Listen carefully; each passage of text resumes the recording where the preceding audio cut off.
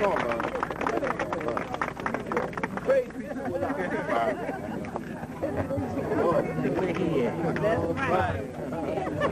And that's why Bruce Perry didn't come. He thought that after the debate, he would be out here.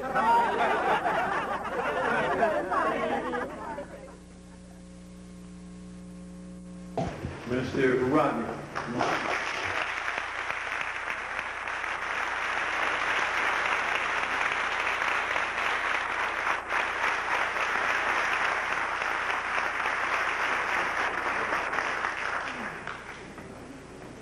In the name of Allah, the Beneficent, the Merciful, who came to us in the person of Master Fard Muhammad, to whom praise is due forever. We forever thank him for raising in our midst a divine leader, teacher, and guide in the personage of the most honorable Elijah Muhammad. Certainly to them both we are grateful and indebted, in fact, eternally grateful and indebted for the man that they have given to black people. Mercy, grace, and fire for a world of fire, all embodied in a man. That man to us is the Honorable Louis Farrakhan. In their name, please allow me to extend to you the Nation of Islam salutation of peace in the Arabic language of Assalamu alaikum. Brothers and sisters, we are so happy to be here this evening. This is an evening that we need to take the handkerchiefs off our heads and start wiping away the sweat of oppression and come into the cool breeze of salvation. That's what time it is today.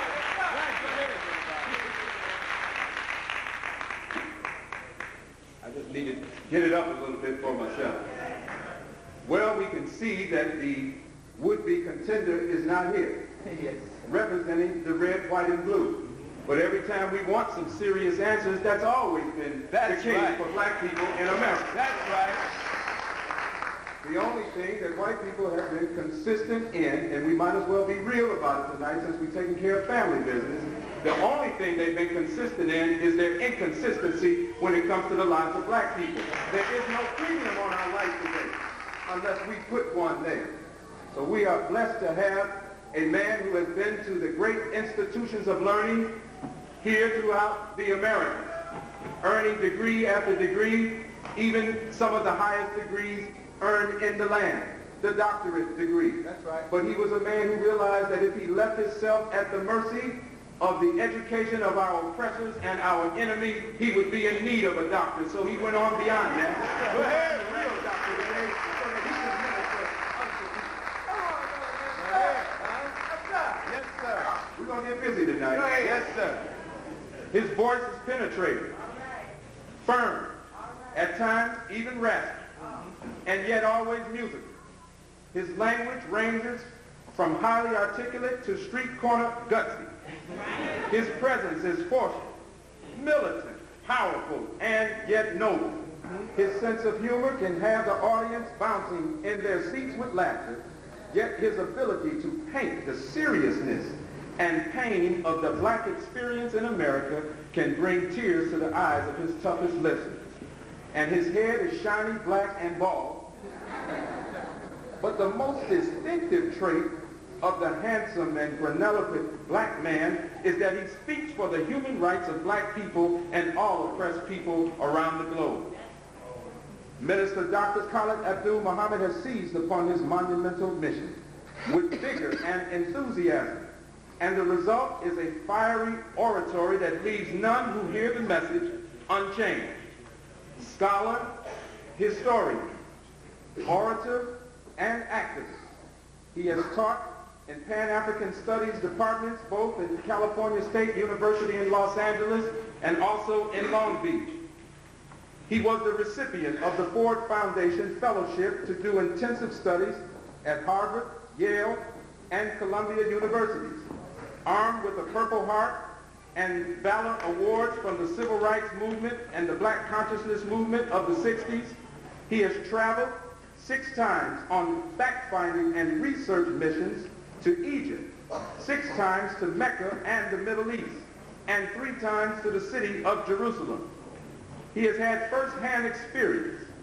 He has seen with his own eyes and has lectured in every major city, town, and township in the Union of South Africa on the subject of liberation for our people.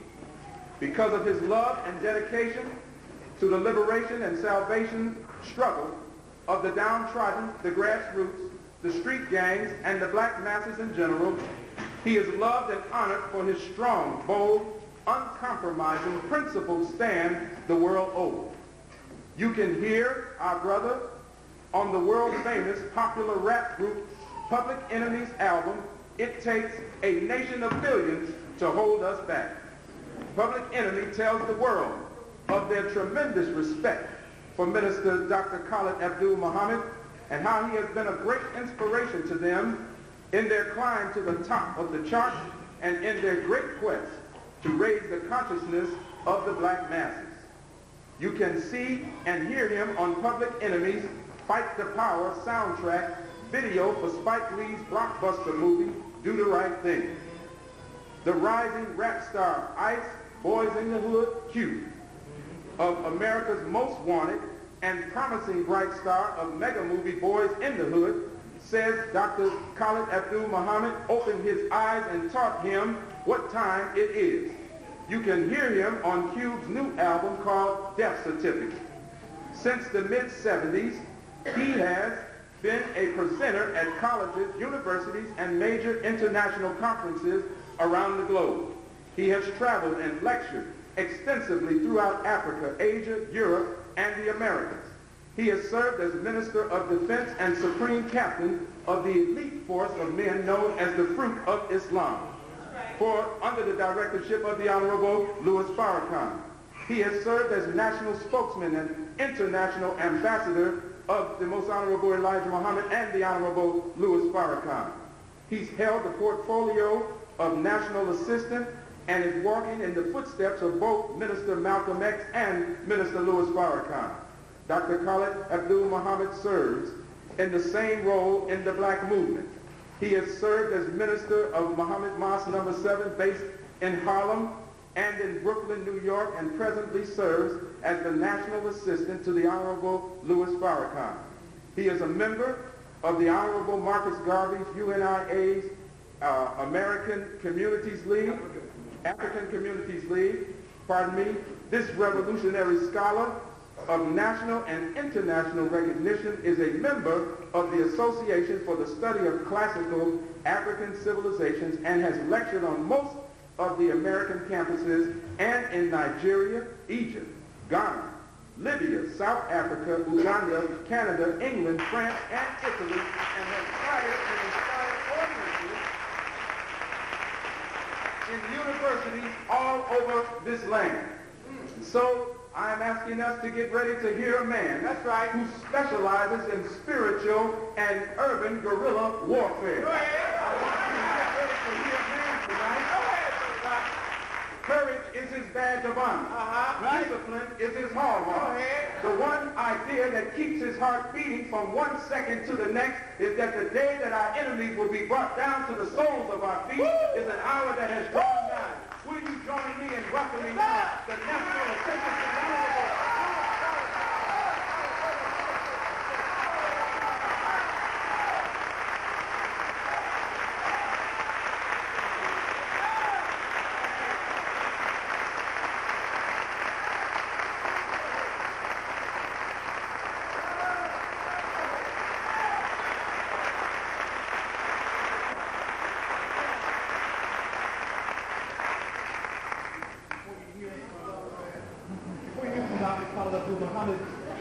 there's a presentation to be made to him by the craftsman who put it together, which is indicative and speaks for itself. This gentleman is Bill Garland. Please make a presentation. Assalamu alaikum. Going to college. Maybe it's a good thing that Mr. Perry did not show today. Because as, as usual, you're always more than prepared. Last time the Minister Farrakhan was in town, I heard him speak of the sons of thunder the Sons of Thunder. This is your war act.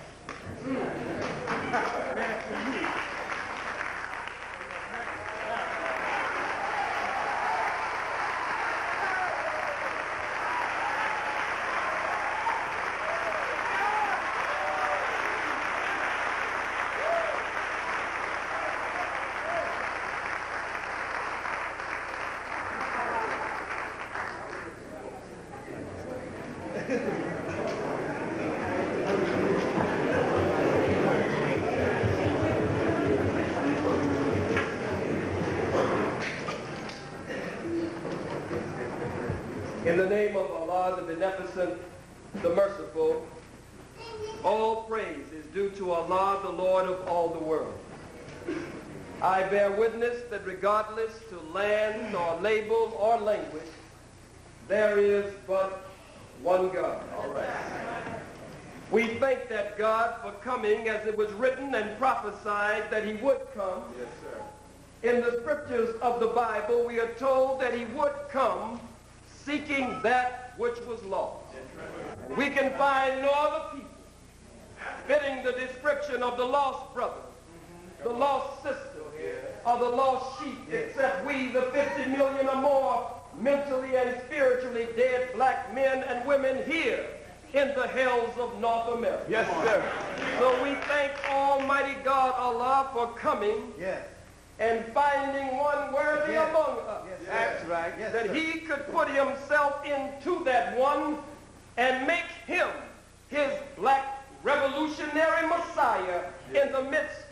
people who are downtrodden, Yes.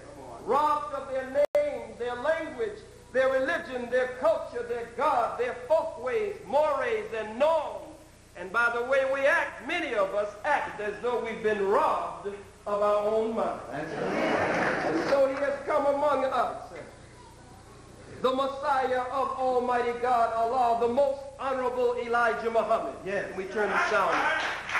And we thank him for his apostle, that one that we believe is the anointed and appointed Yes. for this hour of the liberation and salvation of the black nation. I speak of none other than the Honorable Minister Louis Farrakhan in their name. Sir. I greet you. Assalamu alaikum. Walaikum salam, sir. Hotep.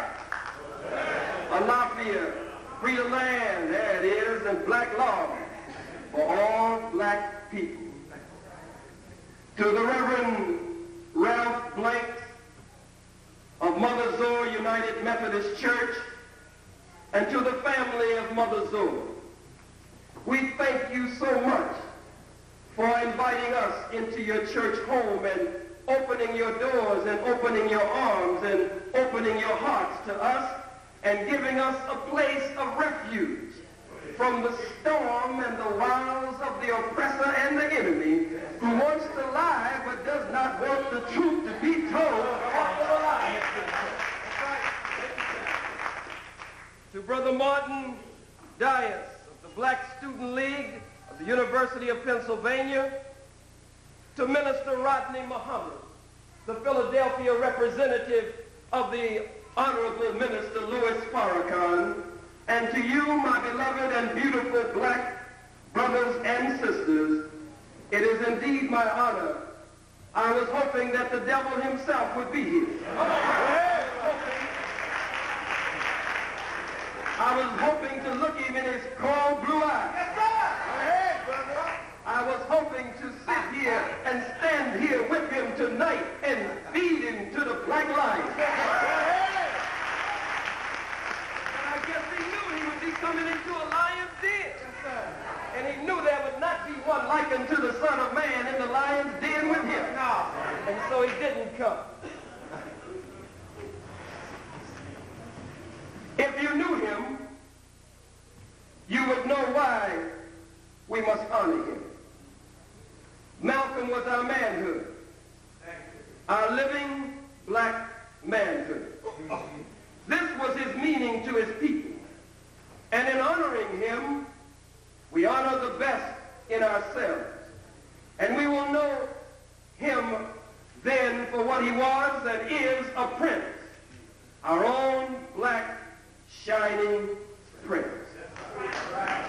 I want to say that every prince comes from a king. I want to say that we become prince and princess in a royal divine line by virtue of a king and a queen that rules from a throne. I want to say to you here tonight, and this is a forum even with the devil not here.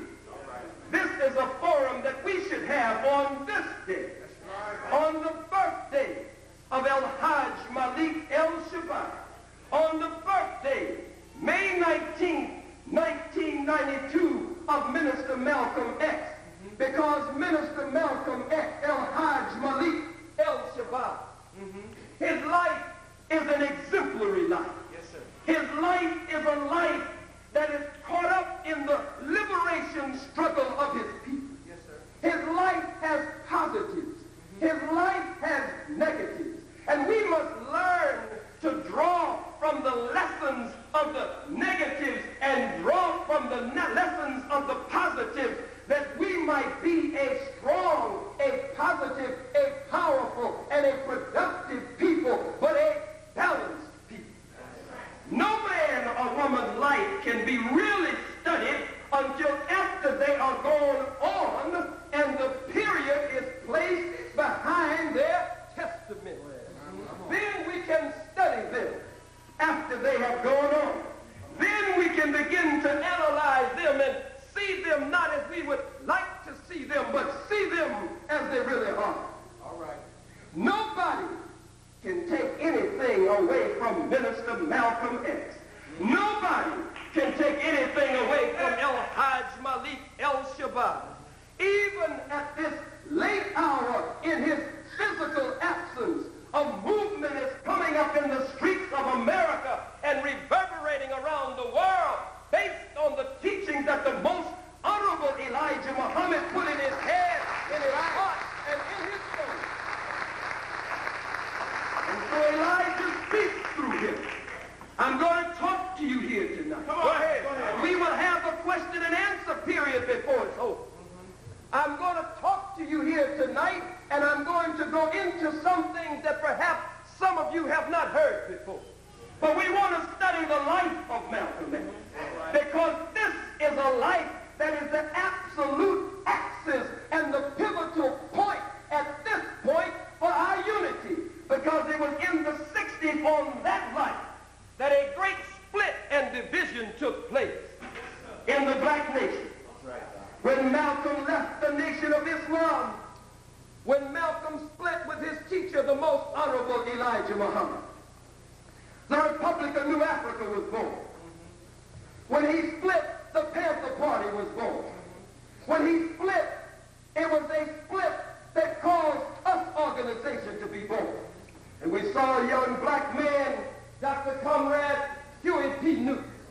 We saw a young black man, Dr. Maulana Karenga, who gave us the Nguzo Saba and gave us Kwanzaa. We saw at that split, we saw the Republic of New Africa formed by Brother Gaidi and Brother Imari Abubakari over Obadele. The life of Malcolm X was the pivotal point for our division and our splintering and our scattering during the 60s. And when the Malcolm riddle is solved, when the Malcolm problem is solved, then the black nation can begin to come black together again.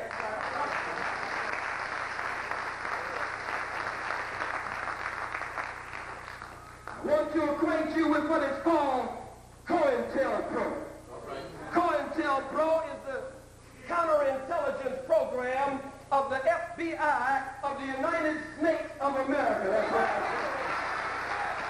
The United States of America. Come on, COINTELPRO, what are the ministers working with on the sound for me, please? COINTELPRO, established by one J. Edgar Hoover. I don't know why Mr. Perry didn't write a book on J. Edgar Hoover. Since he's a bedroom snooper.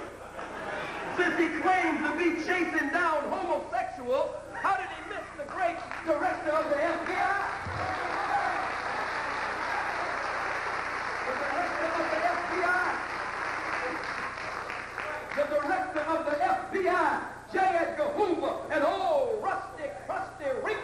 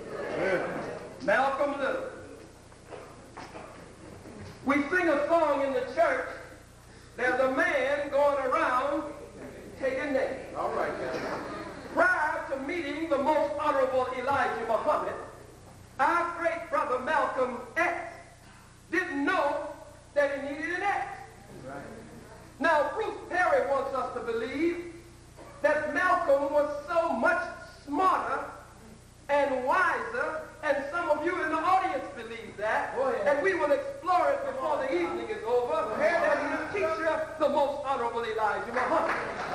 But you don't understand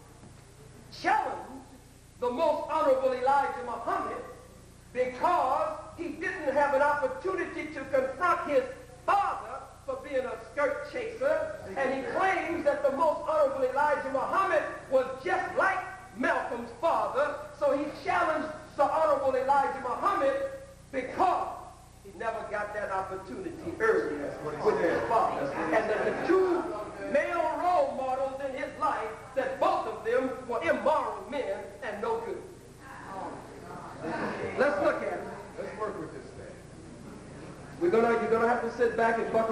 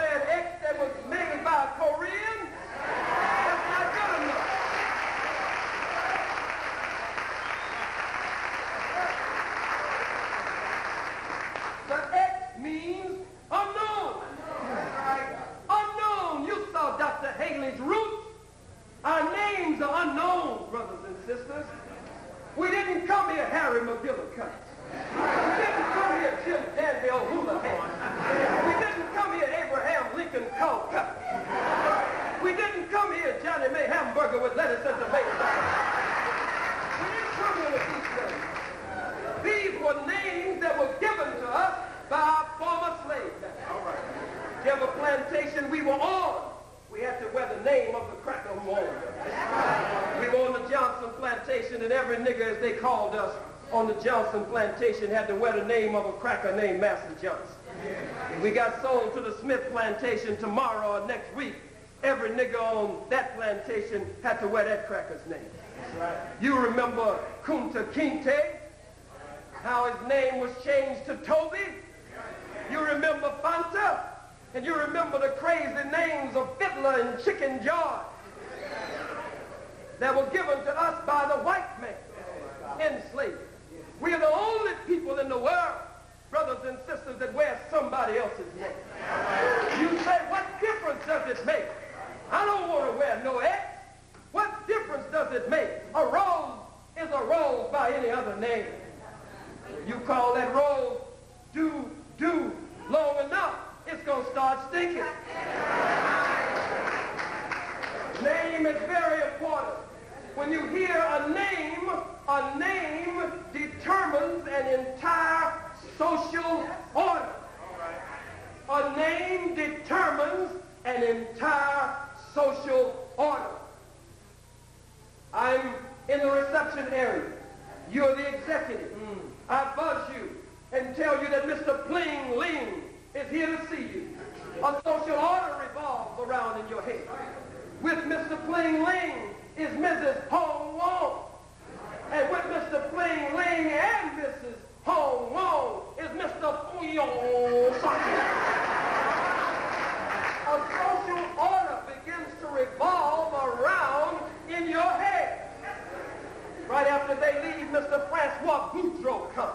Mm-hmm. Social order revolves around in your head. head. Go ahead, Colin. After Francois Boudreaux, Mr. Pedro Gonzalez, and Maria Martinez come in, a social order begins to revolve around in your head. But when it's the people representing the slave and the slave master, you don't know if it's the black brown or if it's the white brown. Come on. Some of you walking around, you blacker than the ace of spades. Some of you walking around, you're so beautiful and black until you're purple black, blue black, blacker than 150 million midnights. Hair so beautiful and nappy looked like a million black power fists standing up on top of your head. But you're running around here in Philadelphia talking about, I'm Mr. White. This is my wife, Mrs. White. Where did you get a name like that from? Who? These are the names of your former slave master. And so Malcolm received his X. X not only means in mathematics unknown, but X means no longer. X means used to be. Ex-champion, ex-president, Malcolm X Little, the former slave of a white man, the ex-slave of a cracker named. X means no longer, and it means unknown. But the most honorable Elijah Muhammad and the honorable minister Louis Farrakhan teach us that the X also means after 400 years of slavery, suffering, and death, that the X also means the unknown quantity and the unknown quality that are locked up in the breast, in the chest, in the soul of the black man and black woman. It means that like an atom, you have to be cracked, and that which is in you must germinate and burst forth from you, that we might again be a free, proud, and productive people. X means unknown. Yeah. But now you're wearing the X. All right. You just saw the X and got excited. But you're here in Philadelphia and you don't want to come to Minister Rodney Muhammad and the experts. So they can express it for you.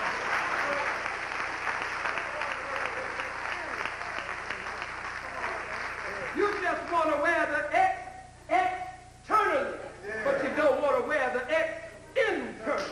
I heard about you who wear your X cap and your X sweatshirt and your X t-shirt and you're running around Philadelphia. You left your black woman and you got a white woman on your arm.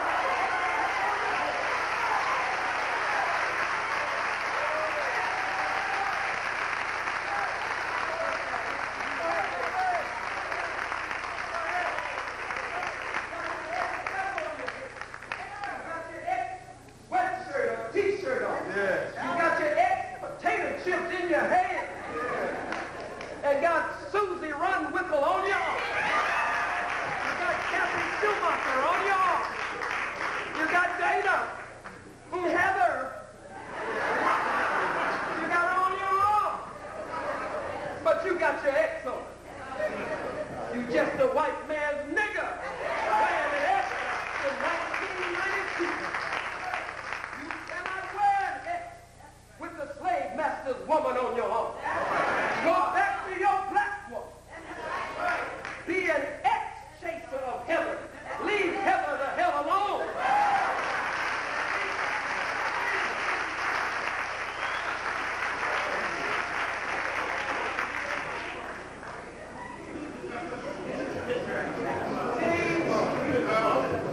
Bruce Perry focuses on the adolescent years of Minister Malcolm X.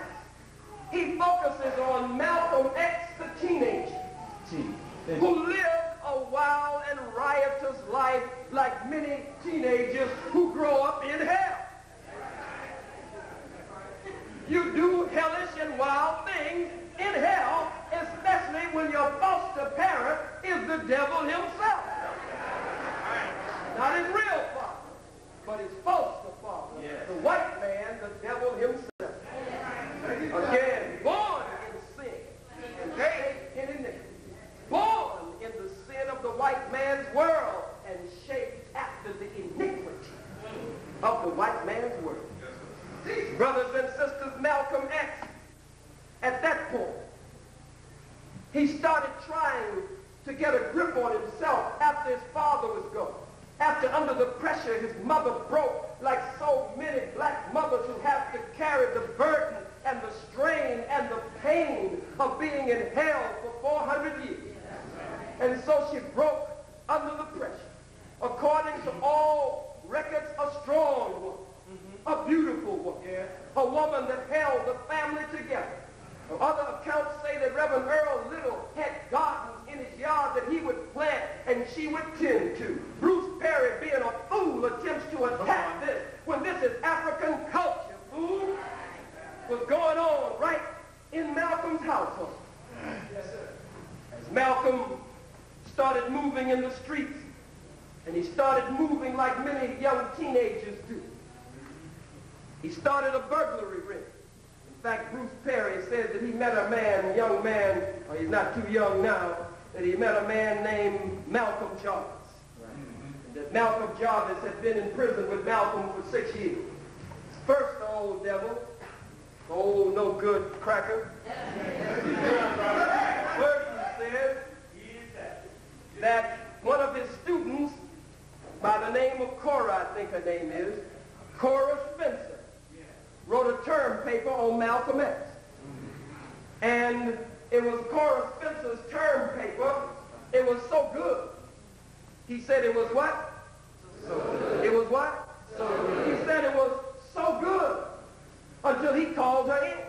I'm here tonight to tell you that her term paper was not so good. Her term paper was too good. And her term paper was glorifying a nigger. And it was lifting up a nigger. And Bruce Perry couldn't stand Cora Spencer writing a term paper that was not so good, but too good and honoring a black man. And so Bruce Perry, in a moment that appears to be a moment of preparation for a crime of passion, driven in his soul, driven in his nature, hateful, outraged, enraged, full of rage. He was compelled to go out. He read the autobiography after she had asked him if he would. She said she had to go on to law school and she couldn't continue that research that he was asking her to continue. And so he read the autobiography, as it is called, of Malcolm X, written by Dr. Alex Haley, who I had the honor of meeting with just a few months before his passing. He read the autobiography. He said, this is, this seems too good. But he says it was by accident that he went out to do just an article or publish something on Malcolm.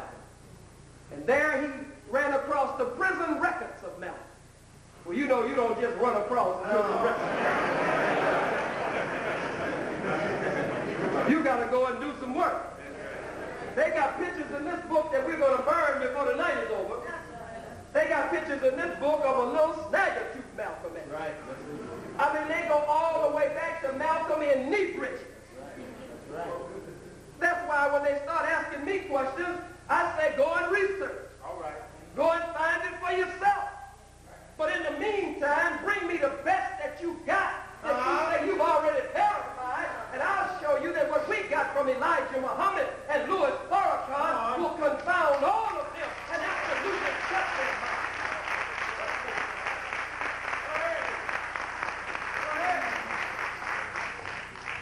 Malcolm left his little black girlfriend and he started hanging out with a little white girl.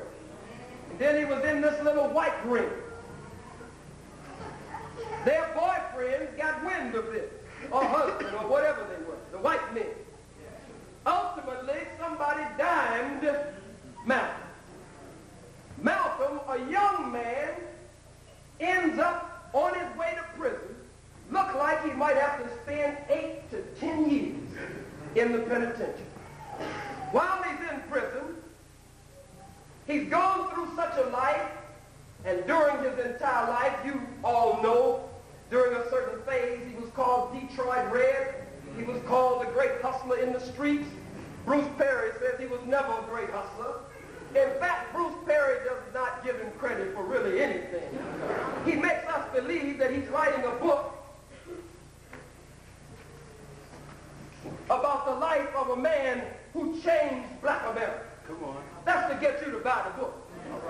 You shouldn't buy the book. You should leave the damn book on the bookshelf. If one of you has already bought the book, then that one book should be passed around to be studied. But don't put any money in Bruce Perry's pocket. Right. Let the Peckerwood start. Let the Peckerwood start.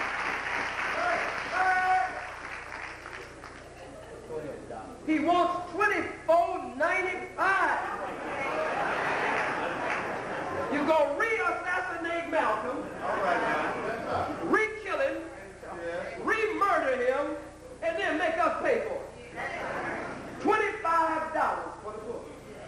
If you already know a book, again, share it, pass it around, study it, analyze it, critique it. We must do that. Develop the arguments to answer the book.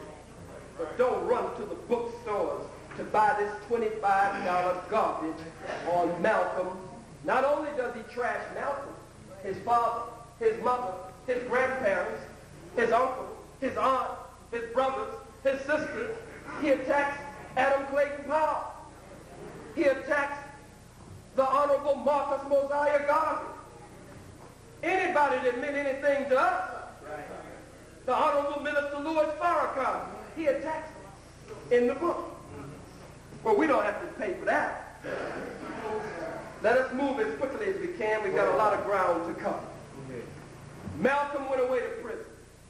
He was called Satan in prison. They said Malcolm was so mean and so evil until they gave him the nickname Satan. They didn't say he was a coward in prison. As Bruce Perry tells us, Malcolm was a coward and a homosexual. And then he tries to say, but my book shows you how he grew out of a coward and a homosexual and became this great transformed being. But he knows it's just like in a court of law. Once you have entered certain facts or certain evidence or certain lies into the record, that the jury can never forget that. They don't think just about the transformation. They think about everything else you told them leading up to the transformation. All right. All right? Yes, sir. He's wise enough to know that. Malcolm's brothers and sisters heard the teachings of the most honorable Elijah Muhammad. And they went to Malcolm telling Malcolm about this great black man who had touched their lives, the most honorable Elijah Muhammad. This fascinated Malcolm because his father, Reverend Earl Little, was from Reynolds, Georgia. And now he was hearing about a man who was from Sandersville, Georgia. They told him, Malcolm, the white man is the devil. The most honorable Elijah Muhammad says, Malcolm, that the white man is the devil. Not a devil, but the devil. There's no devil under the ground. There's no devil under the ground with no red pantyhose that's going to stick you and jug you with a barbecue fork. The devil is on top of the ground. Malcolm said when he heard from his brothers and sisters from the teachings of the most honorable Elijah Muhammad that the white man is the devil, he said it was like a light bulb that came on in my head. He said everything became clear to me. I could see everything and put it in its proper perspective. Then Malcolm stopped smoking in prison. He stopped drinking the prison brew that was being made behind the wall. He stopped getting high with the behind the walls high that they were passing around. He began to clean his life up. A moral teaching came to Malcolm. A teaching that would give him in prison the myotic balance that his life was missing. So Malcolm was no longer called Satan anymore. They started calling him Brother Malcolm in prison. He started organizing all of the men in the institution where he was. He started reading the dictionary reading everything in the dictionary. Yes, sir. He increased his vocabulary. He'd read every book that he could get his hands on. He was obsessed with something. Something was compelling him. He was being prepared in a classroom to do a work that he didn't even know about. Yes, so Malcolm was in school. But when Malcolm got out of prison, very few organizations would have accepted. That's right. Very churches would have accepted Malcolm right, right. and given Malcolm a platform to speak from. But the most honorable Elijah Muhammad took him in like a father would take in a son. Right. He taught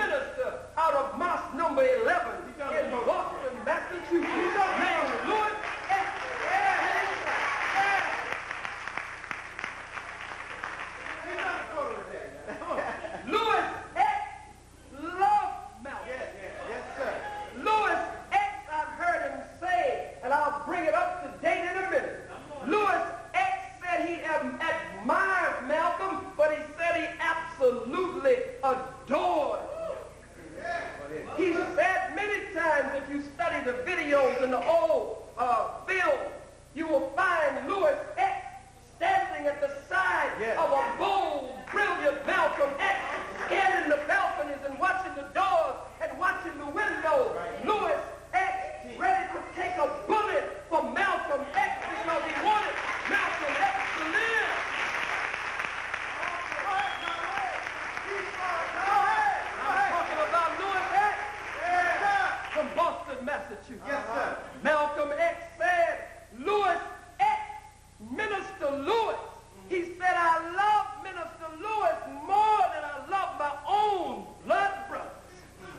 And young Louis X, you could always find him on fire, beaming and gleaming, happy, applauding, and he's the strongest and the loudest voice in the audience when his big brother, Malcolm X, was speaking. Yes, when his right. big brother, Malcolm X, was at Harvard University handcuffing Negroes and crackers, Louis X was at his side.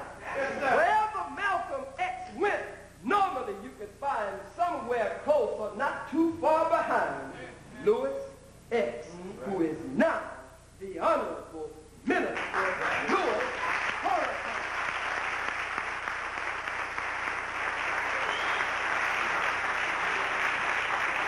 I had talked to him. He said, brother, I never wanted Malcolm's place. That's right. I never wanted to be in his place. Yes, that's right. He said, I never felt adequate to be in Malcolm, enough to be in Malcolm's place.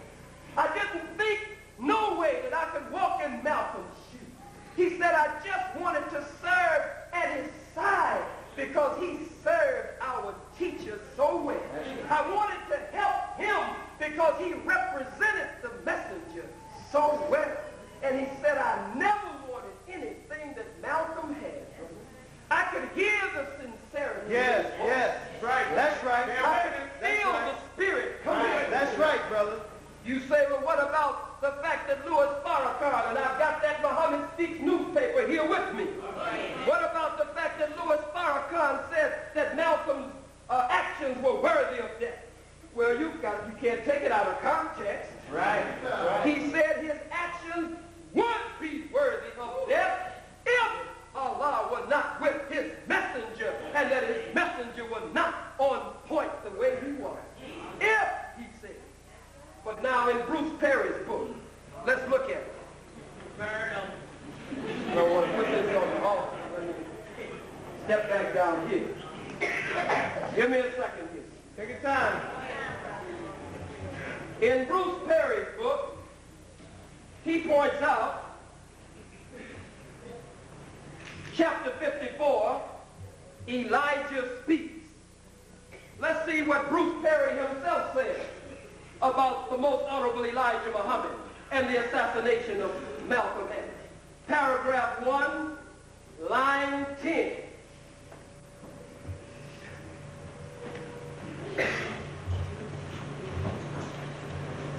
I'm going to have the uh, brothers to turn to that. Well, we got 50. I might as well this. Elijah speaks.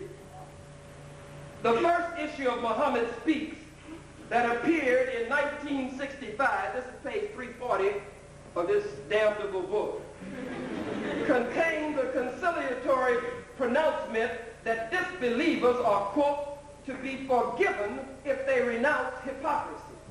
There was also a declaration that Allah specifically chooses for his mercy whom he pleases. Yet in the next issue, Elijah Muhammad dwelled at considerable length on the faith of hypocrites. He singled out Malcolm, whom he called the chief hypocrite, for particular criticism. He has said everything imaginable against me, Muhammad declared. I will never forget.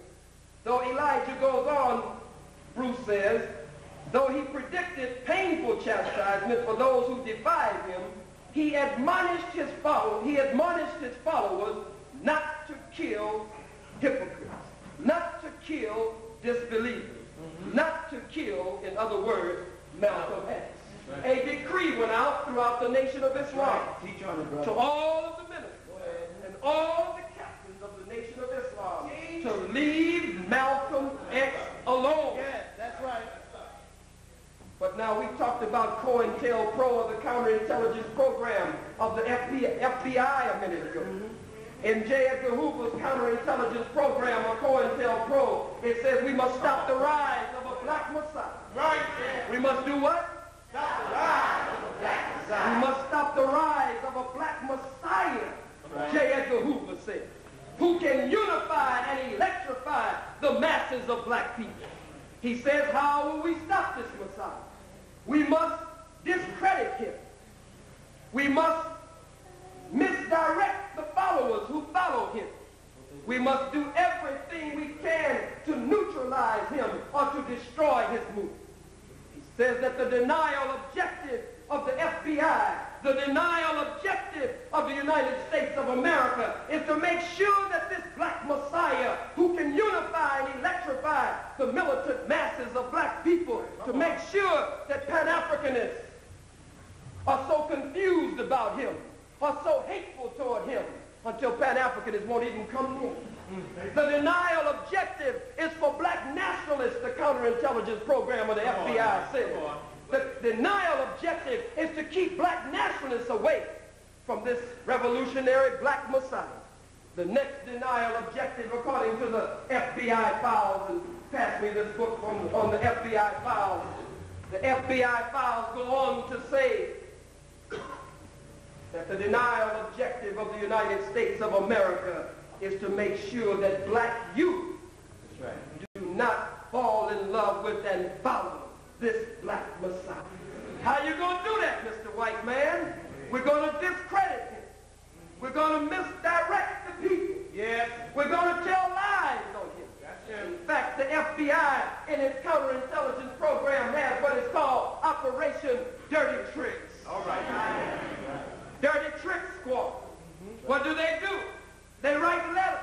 They send letters out to various members creating confusion in households. That's right. They send letters from the FBI to the wives of different leaders, the way J. Edgar Hoover called Dr. Martin Luther King Jr. in and said, Martin, if you don't back down off of this thing, we got some tapes of you in bed with another woman, and I'm going to send it to your wife, correct? But Dr. King didn't punk out. That's right. Dr. King said, I'm going on to do what I got to do. Right. You take test and go on do what you got to do. Operation Dirty Tricks mm-hmm. of the FBI, COINTELPRO, counterintelligence program of the FBI. They say we must stop black youth from following this one. How you going to do it? We're going to put $30 million behind a movie right. called Malcolm X. So that millions will flock to the movie. I have the entire script. I don't believe anybody in here got the entire script. If you got the entire script, raise your lying hand.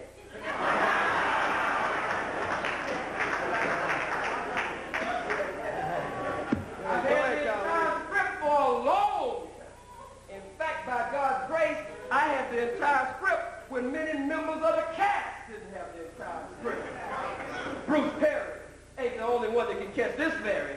Somebody else can get over to the other side too.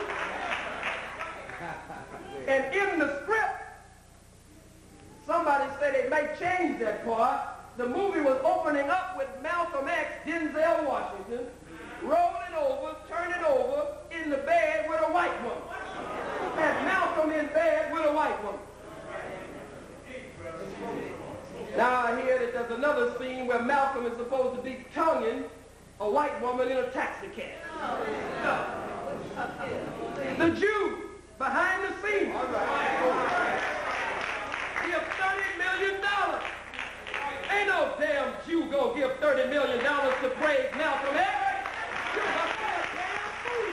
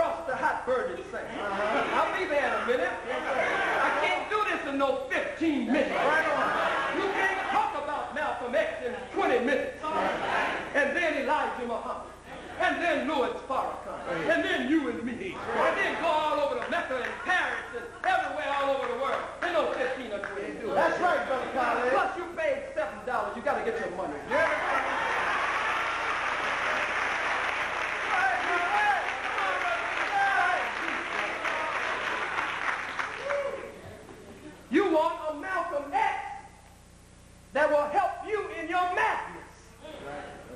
You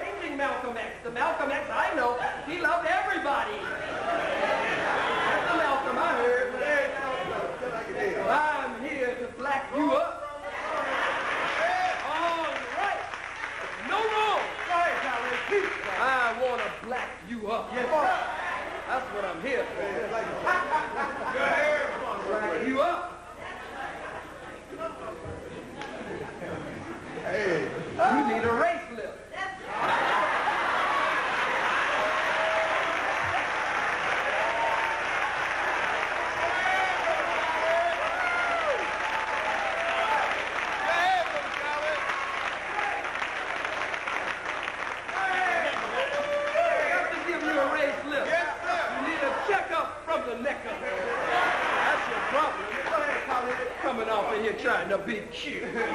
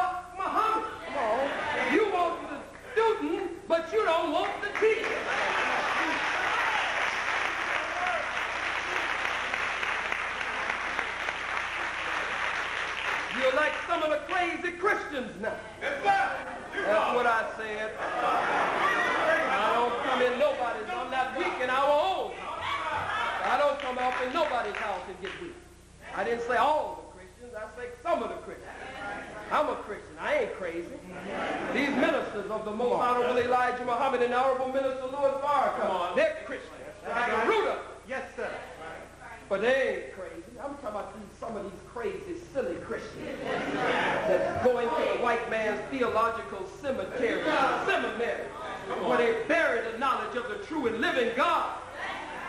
They bury the knowledge of the true revolutionary Jesus. And they got you following Paul. They got a theology now that they call Paulinian theology.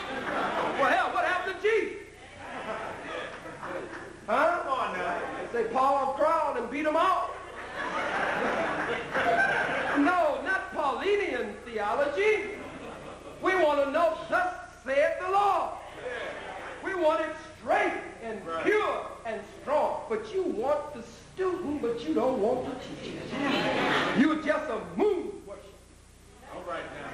You want to come out at night and pretend that the moon is so bright but you're ignorant to the fact that the moon, not all of you, if I say anything, let's get this straight right now. Let me get this straight right now. If I say anything you don't like, just say, you ain't talking about me.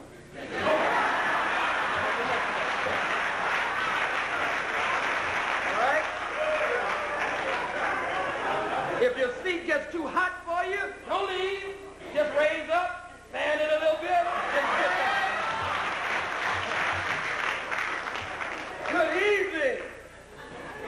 This is the truth out. Yes, Don't you touch that down. This is the truth out. I didn't come here to conduct a Dale Carnegie course. I came here to tell the truth, right. whether you like that or not. You wanted the Dale Carnegie course when you got the 12th and Mellon, you made a right. you spoke to me. You're in the wrong place. I came to tell the truth here tonight. Because if we can resolve the mouth if we can solve the Malcolm problem, then the black family can. And all of the rifts and division and enmity and confusion there, we can ferret it out. If we can solve the Malcolm problem, because there is the crucial problem at the heart, the core of the black nation's disunity right now. And back to J. Edgar Hoover and the FBI file because he said he would create a situation and a set of circumstances that would so enrage you and confuse you about whatever the program would be of that day and the key leader of your day, the Messiah of your day, until you would back away from him. We want to have nothing to do. Listen to them. He's working his plan Yeah. every day. And some of the most conscious among us are caught up in the plan. And don't even know that you caught up in the plan. That's right. Huh? Yes, sir. Wake us up. You don't know this white. Yes, sir. You get angry with us when we tell you that he's the devil. Go ahead. You get angry with us. Yes, sir. The devil is a wicked, evil, smart, crooked deceiver. The devil is not always one who just come in talking crazy to you, mowing you down and killing you in cold blood. The devil is also sneaky, conniving, Yes, sir. slick, deceitful, underhand. Yeah. He's the master of a science called tricknology.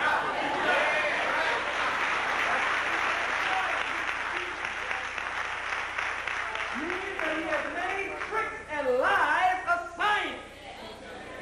He's a past master. Come on. Tell me I'm not. No. Black as I'm supposed to be. Christmas time, I walk in the supermarket and I'm walking down the aisle and I hear jingle bells. I take about four steps down. I'm. I started a jingle bell tune. Halfway down the Tell me I'm lying about some of you. Sitting up in front of your TV, said you eat Bear Bubakari and Johnny Koo Imhotep.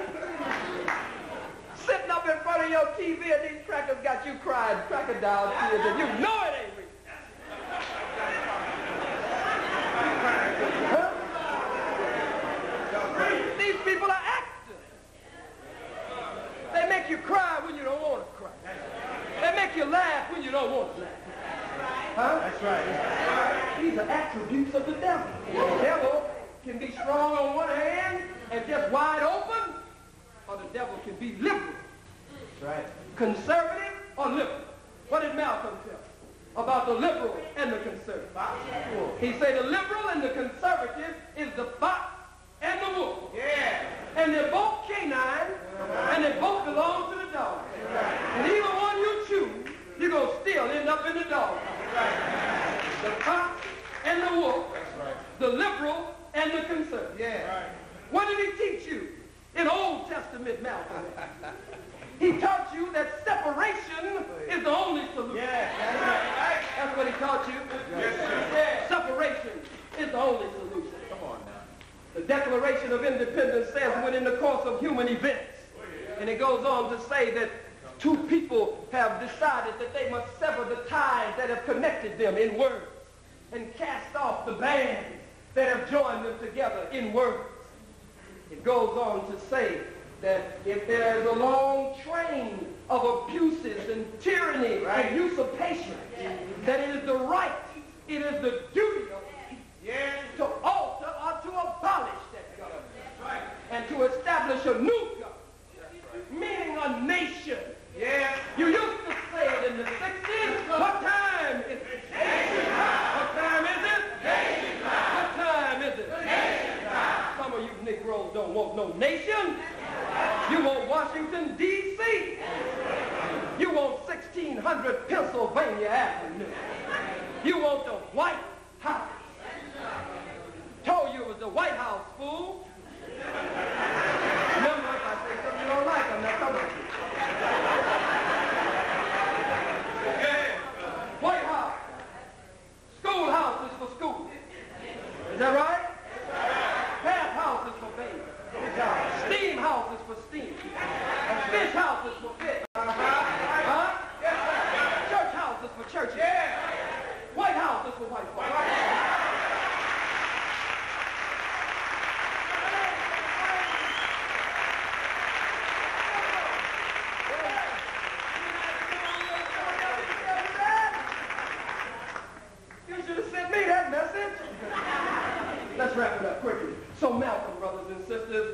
Malcolm roaring out all over America teaching.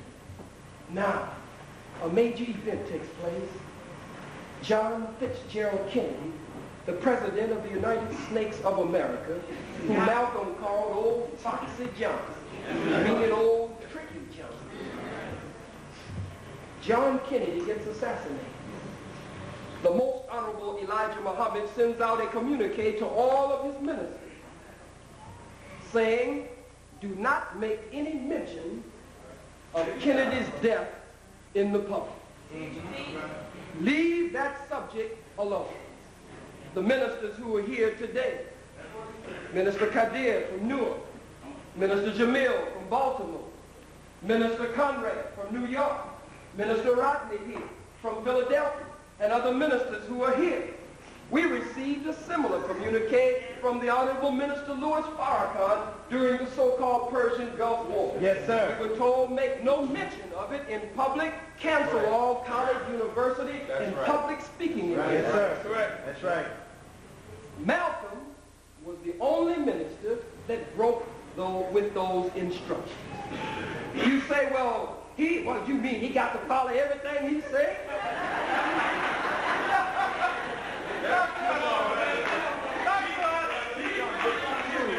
Malcolm X. He ain't got to do what he said. Malcolm said Elijah Muhammad, the Honorable Elijah Muhammad, taught me what I know, made me what I am. And if you would listen to the tapes of Malcolm X unedited, every other word or sentence almost, he said, the Honorable Elijah Muhammad teaches us. The Honorable Elijah Muhammad teaches us. Honorable Elijah Muhammad says, Mr. Muhammad teaches us. But now they've edited the tape. That's why they go up and come down and fade in and fade out. You say, what's happening with this? They take all of that out. Right. Let it out. How do we know? We got the original tape. We got the original tape. You can order them from the Final Call newspaper. Uh-huh. We've got Malcolm's original tapes. Let Malcolm's own tapes, Malcolm in his own words, speak for himself. Bring Malcolm to the witness stand.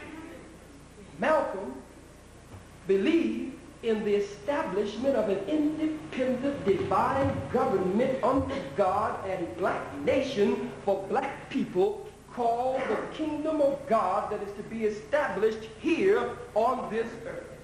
He believed that black people are the chosen people of God because this is what he was taught by the most honorable Elijah Muhammad and that we would be the cornerstone of a new world order, not that stuff Bush is talking about. And so Malcolm believed that he was a minister, not an imam alone, but in, inherent in that, you can also find the duties of an imam, but he's minister. He poured himself Yes. into that. Yes, yes. Yes, he did. Yes, sir. Right. Yes, he did. Yes, sir. Malcolm spoke at Manhattan Center in New York. He got through his lecture fine. He made no mention of John Fitzgerald Kennedy, but there's at least one devil in every crowd, right? At least one.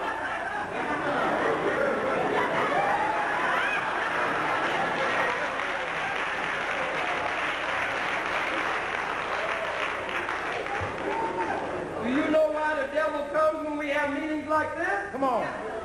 The devil comes to see how wide awake you are. So that he can go back and report. The niggas are waking up.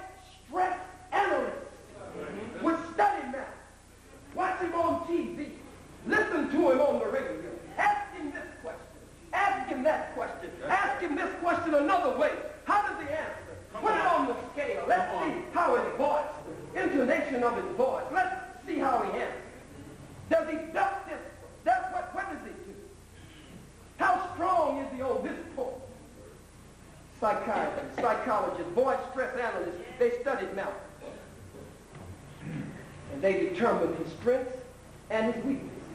And they determined how to exploit them. And so they started making fun of Malcolm.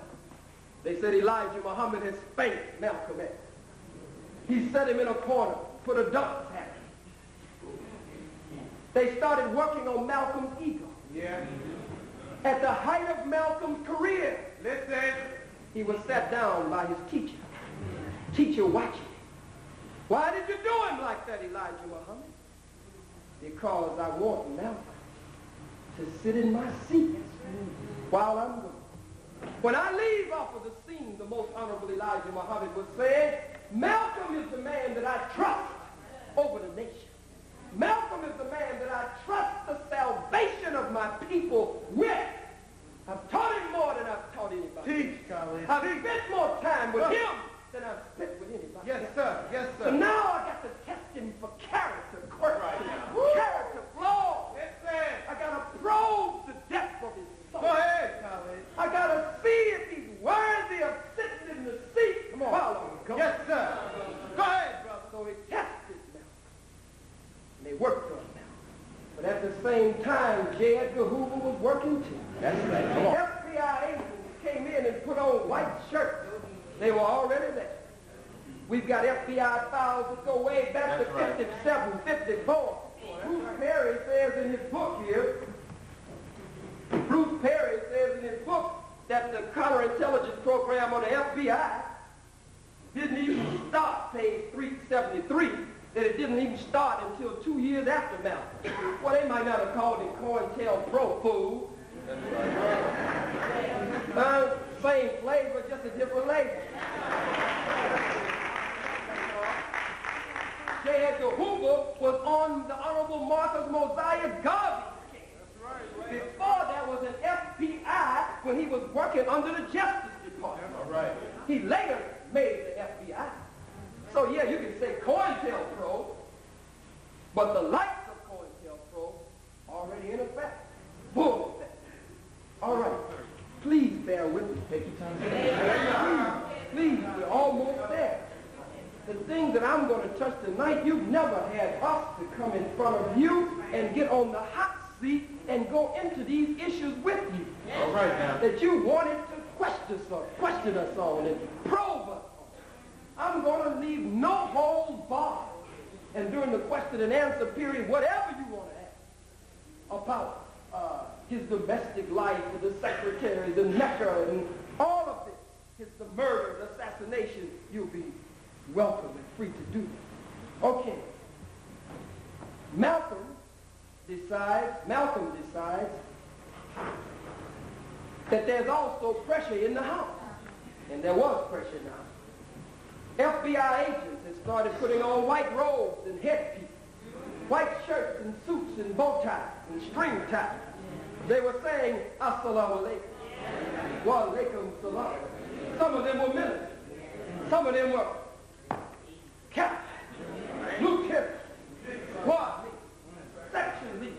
Some of them were over the baby in the University of Islam. Some of them were in the Secretary's Department with all of our records and bookkeeping, sending it straight to the enemy, right in the ranks of our people. These Toms, these boot-licking, butt-licking Toms, these rats and stew pigeons. You see them out there in Los Angeles, telling and snitching on our brothers and sisters.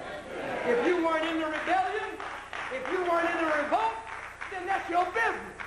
But if somebody else was, you keep your mouth shut. You don't go down to 911.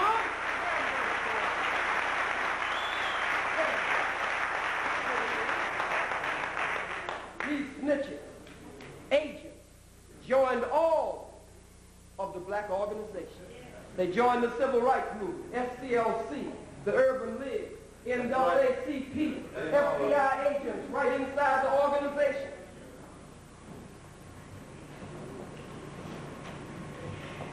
Then there was some chicken-hearted, jealous-hearted niggers in the nation of Islam. Just weak niggers. Just evil niggers. Just jealous niggers and envious of the great Malcolm X. Saying, Assalamu alaikum. Inside of the nation of Islam. He done. Malcolm would speak all over the country and you couldn't read nothing in the Muhammad Speaks newspaper. Mm-hmm. It was though he wasn't saying a word. But the New York Times would have him in the New York Times. What is it here? The Philadelphia Inquirer would have him. The Baltimore Sun would shine on him. All of them. The L.A. Times would write about him. The Sentinel, the Herald Dispatch, the Baltimore, was it Afro-American? They would write about him. The, the Amsterdam, Aberdeen new. they write about it. All of them would write about it. But the Muhammad Speaks newspaper, which Malcolm X helped start, they wouldn't write nothing about Malcolm at that time in the newspaper. This hurt Malcolm. He was working his heart out, and he didn't understand what was happening. Then, while he was busted during the 90 days, they all converged. Everybody now, because the big man was down, they closed in on him, picking at jugging at talking about undermining talking behind his back, backbiting calling him a hypocrite. Come on. All of this. Malcolm left the Nation of Islam after 90 days. He said, I'm leaving the Nation of Islam, but I will be back. But I feel that I can do more right now from the outside than I can do from the inside. And so he left. He started the Muslim Mosque Incorporated in the Theresa Hotel. Then later he started the African, the OAAU, the Organization of African American Unity, to separate the religion, as he said, from the politics. That his religion was Islam and his politics was black nationalism. Malcolm had now started on something that had been worrying him for a while, but he had somewhat forgotten. Way back, Malcolm wanted to marry a sister in the nation. I won't call her name here but we all know her. That know her. And quite a few of us in here know her. Malcolm wanted to marry her. This is before Sister Betty, Dr. Betty Shabazz. And this is to take nothing from Dr. Betty Shabazz. Malcolm was such a man so caught up in the struggle and the movement, he didn't do things in an ordinary way. Like everybody else, they were just free and just free, fancy, free running around. He was committed. So Malcolm got her, got her on the staff in Chicago at headquarters at our Black House and didn't tell her really that he wanted to marry her. He just put her there, he figured for safekeeping, put her in the safe deposit box, he go on back to the church. When he had a minute, he'd go back and get her. But the next thing Malcolm heard was that this sister that he loved dearly had become a wife of the most honorable Elijah. He could have halfway dealt with that because maybe he would have still held on to some hope or dream that he could have still got back. But then he found out that she was pregnant for the most honorable Elijah Muhammad. You with me? Yeah, yeah we showed you. Now, what took you so long? That's what I've been waiting to hear. Yeah, I'm with you. Let me sit up here. That's the way we are. We just as crazy as hell. Somebody can come with all kind of wisdom and science that will make us free and independent. We'll get bored. You don't seem like a bored audience, but we will. Somebody can come to you and tell you, do you know that so-and-so just discovered a cure for AIDS. Did you know that? Not only that, but they're working on something that will make the condition of black people with the sickle cell trait much better. They come to you do you know that so-and-so like little boy? You say, what? like little boy? Tell me about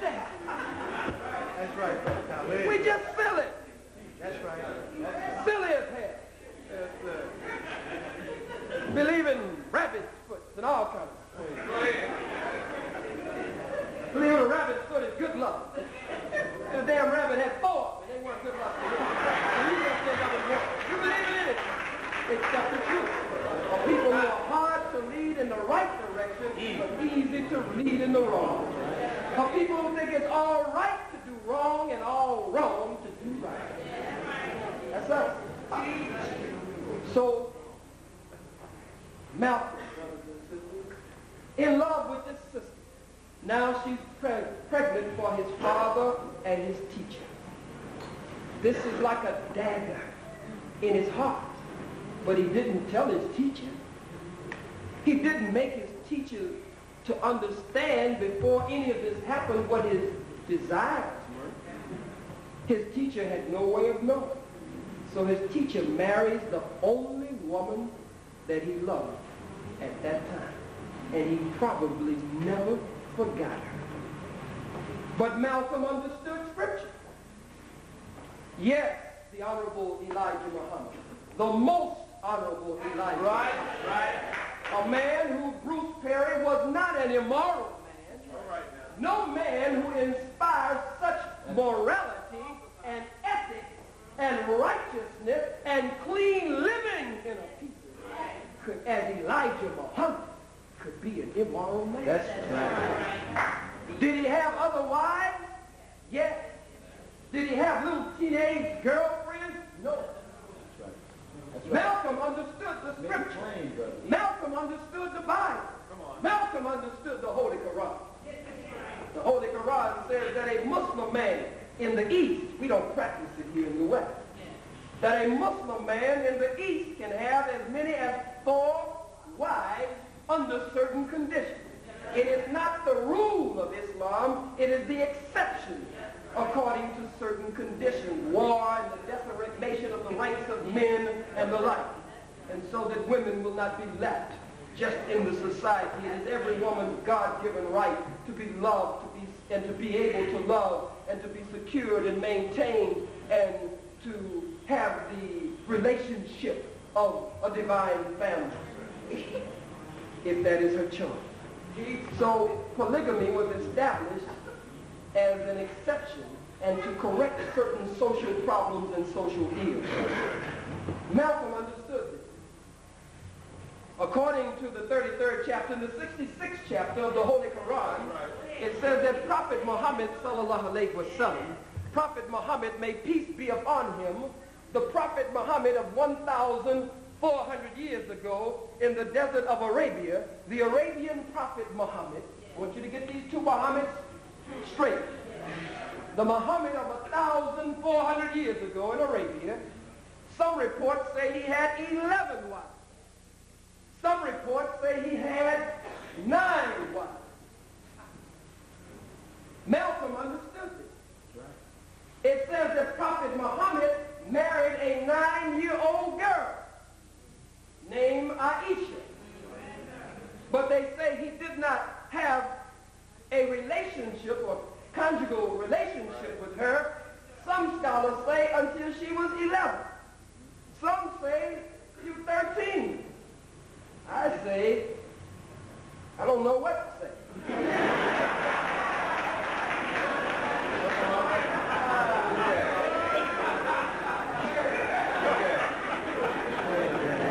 Wake us up. And I say that if God's hand was guiding it, what in the hell could I say? he married a nine-year-old. I never heard Malcolm X stand up and criticize Prophet Muhammad of Arabia for having 11 wives. I never hear any account of Malcolm X, nor Wallace D. Muhammad, the son of the most honorable Elijah Muhammad, attacking Prophet Muhammad, the Arabian prophet, for marrying a nine-year-old girl because it is believed that God's hand and his active will was guiding this. Come on. So Malcolm kept it in that perspective. Wallace D. Muhammad kept it in that perspective on the Arabian prophet. All right. But on the most honorable Elijah Muhammad, the man who got his behind out of jail. The man who taught him what he knew.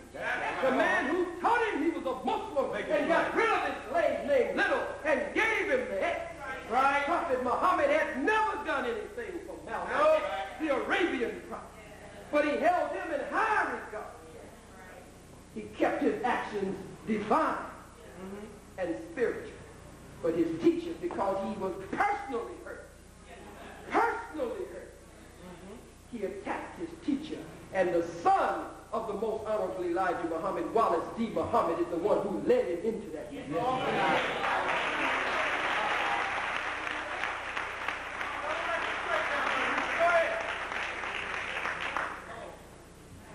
Wallace D. Muhammad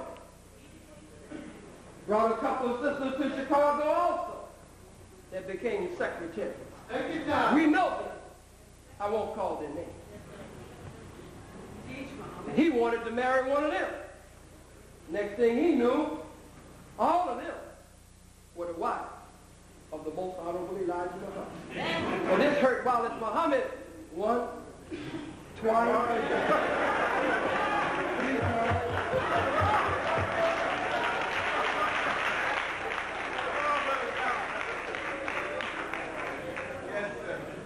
I mean, he was hurt, hurt, hurt. If you know what I mean. but he, under, he understood Bible and he understood that Holy Quran. But these were personal feelings. Yes, sir. Personal, this was personal pain. Malcolm could handle it all those weeks.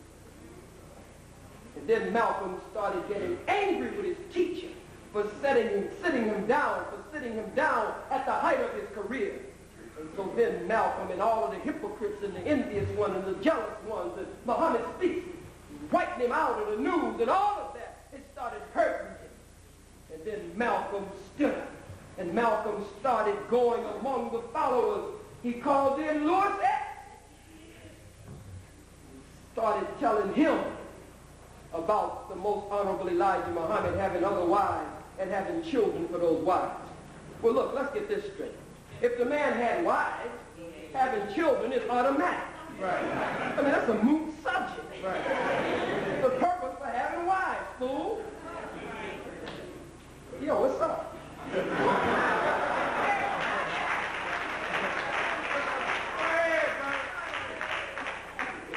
Ain't nobody here that don't know that. Even Bruce knows that. Where's Bruce? We sure miss you, guy.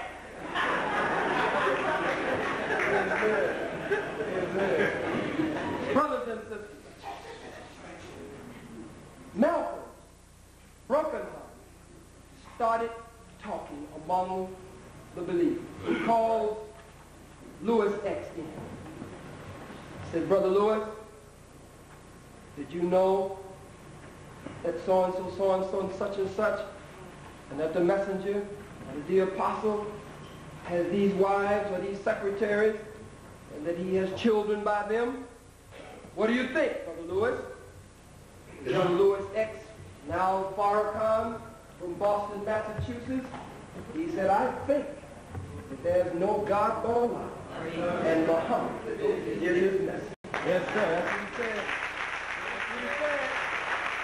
He looked at him. He was shocked at his answer because that's his little brother. Young Louis X said he left crushed, hurt, almost destroyed. He didn't know what to do. He went home. He said he couldn't. He saw his wife sleeping in the bed. He said he just wished he could sleep like she was. Something told him to go and get his Quran. He went to his Holy Quran and he opened it to the 33rd Yes, chapter. sir. Yes, sir. Started studying and he went to the 66th chapter. He jumped up, got transportation and went back to meet with his big brother, Malcolm. That's right. He said, I got it, Brother Malcolm. I got it, Brother Minister. I found it in the Quran. I found what the prophecy says about the messenger having more than one wife and having children in the section in the Quran on the domestic life of the prophet or the messenger. Yes. Malcolm said, I know that. That's right. He said, but you can't handle that. Yes, sir. He said, you leave that alone. Yes, sir. You let me teach that. That's right. Then he looked at young Louis X. And he knew that Louis X was going to report him to the teacher. And he said to him, if you would just hold up, Brother Louis, with your report to the messenger. No, he said, Brother Louis, don't tell anybody what I told you. Yes, sir. Young Louis X looked at him and said, I won't, Brother Minister, nobody but the message. Now, Bruce Perry takes this to mean that Louis X had turned on his friend. No, sir. Turned on his big brother. But the little brother might have felt that if the father knew, he could help the big brother before it was too late. And so he went and told the father. Ultimately, he told the father, Malcolm asked him to let, her, let him get a letter off to the Most Honorable Elijah Muhammad first. So it comes to the Most Honorable Elijah Muhammad's attention what Malcolm is saying. Later, Malcolm went all out into the world. He went on radio. He went on television. He went on white people's shows.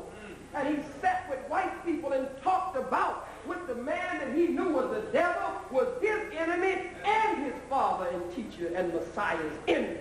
He sat with them and told them the inner workings of the nation of Islam. You've heard some of the tapes. You say the black Muslim movement, Elijah Muhammad, and the black Muslims, they're doing so and such. Elijah Muhammad and the black Muslims inside of the black Muslim organization, they're doing so and so and such and such. Some reports say that he even met with the FBI and gave them certain reports about because he wanted to crush that which had hurt him. He became bigger than the movement. All right. Bigger than the struggle. Bear with me. Yes, For a few more minutes, please. Go ahead. And so ultimately, every Muslim became a potential murderer of Malcolm. See, you don't know what that's like. That's right. You've never loved a man that's right. The way the Muslims love Elijah Muhammad. Right. You've never been committed to anything that hard. You've never been that rooted in anything. Right. You've never believed that strongly in anything. Elijah Muhammad told us to go and lay down at the airport, at the Philadelphia airport in peak traffic when all the planes were landing. You find us on our way to the airport to lay down on the That's right. That's right. He told us to go in the judge's chamber and hit somebody. You find us stepping off in the judge's chamber. Right. That's right. That's right. You put him under our arrest. And arrest the judge too if he get in the way. Right. You've never been a part of anything like that. Right. So when Malcolm went out and attacked his teacher, every Muslim became a potential murderer. But they were all under the instruction, leave Malcolm alone. But agents, FBI agents, we know you're here tonight. We know you're here.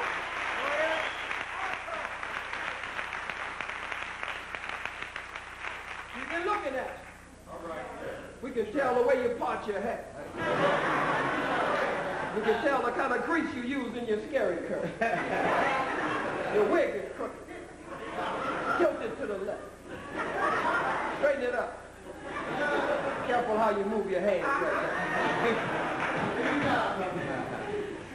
you rat and snitch on the legitimate aspirations of your people, your people who are yearning to breathe free. Right. You used to get away with that in this That's right, Doc. but in the 90s and in the 21st Come on. Make it plain. Make it plain. if we can't bring you around, we're going to put you in the ground. Can't bring you around,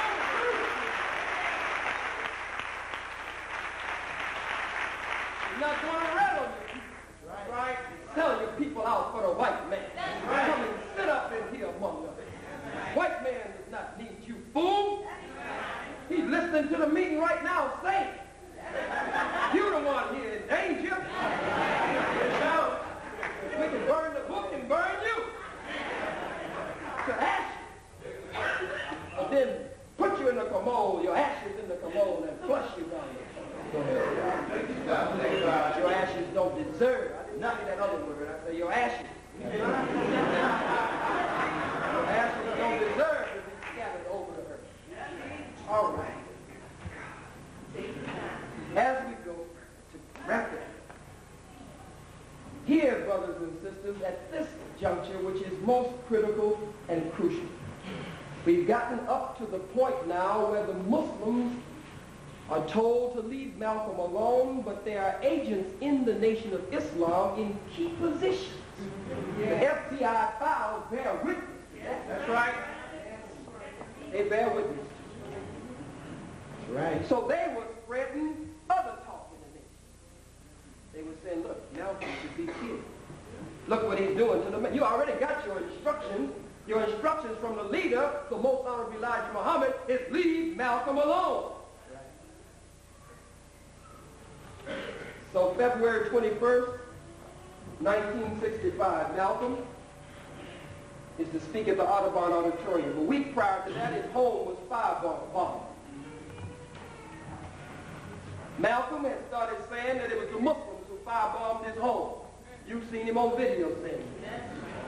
He said the Muslims were trying to kill him. But at another point, July 1964, Malcolm was at the Cairo Hilton. At the Cairo Hilton in Cairo, Egypt, or Kemet, and Malcolm was food poisoned in Cairo. Not Cairo. It was a little further than that. And Malcolm had to be gotten up at the, they had to get him up in the middle of the night and pump his stomach out and rush him to the hospital. He was the only one food poisoned in the Cairo Hilton.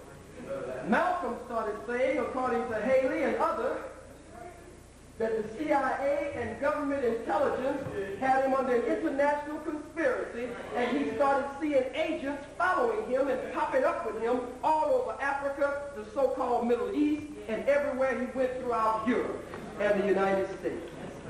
So Malcolm said, when he got ready to go to France, he went to France February 9, 1965. They wouldn't permit him in France when he had been there. There were rumors he was going to be assassinated. And the French didn't want him killed on French soil. It was said that the CIA had put pressure on France to keep him out of there. Malcolm said, this is bigger than the black Muslims. Right. He said, I know the black Muslims. He said, when the black Muslims come to kill you, can't nobody protect you from a black Muslim except another black Muslim. He said, but I help teach the black Muslims their tactics. I help them. And I know how they move. And this is bigger than the black Muslim. He said, I'm going to stop accusing the black Muslims. Right. This is the government that's after me. Right. Malcolm had talking about had talked about taking America before a world court. Taking America before the United Nations. Some of you make a big thing out of that. What is that? That's right. Go ahead. Go before the United Nations. Go ahead. I understand it. I respect Malcolm wanting to go before our brothers and sisters. Wake us up. But the United Nations is a paper tiger. The United Nations has no teeth. United Nations can't enforce anything. Taking America before the world court, the United Nations,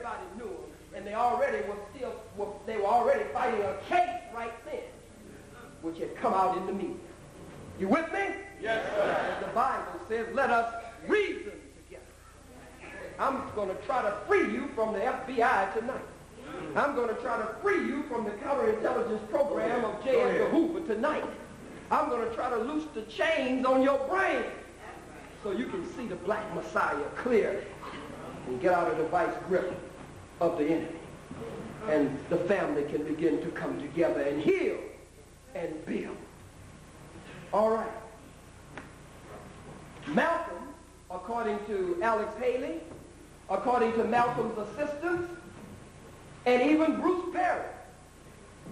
The hour before his assassination, that Sunday, February 21st, 1965, at the Audubon Auditorium, Malcolm paced back and forth in the back room before he came out.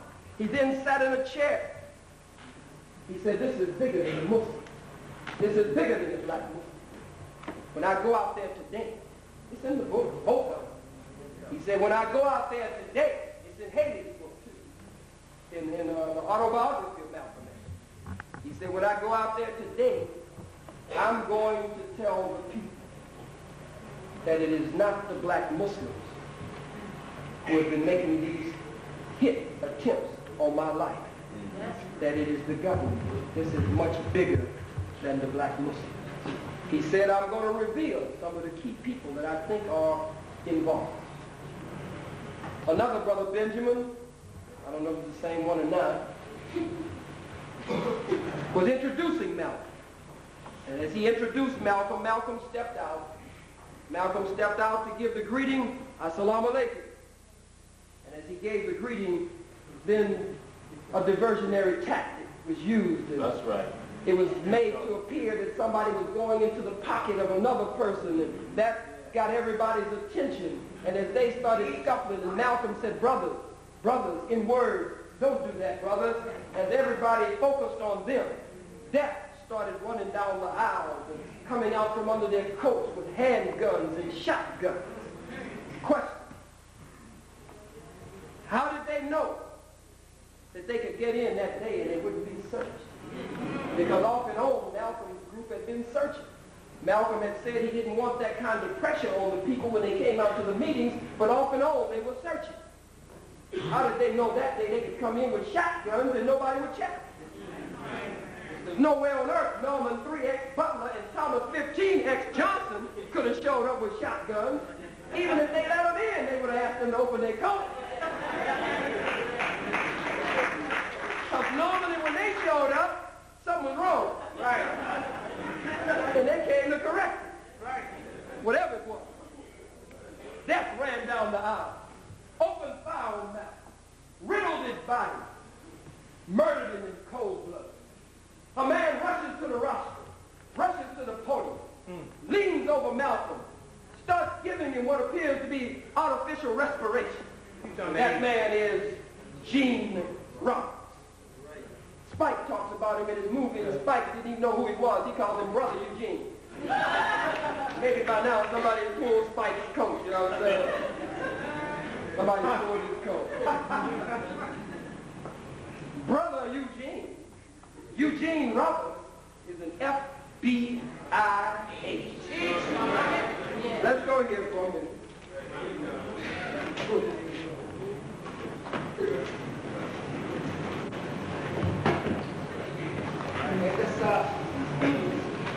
Brothers and sisters, I want, to, you to reason with me on this.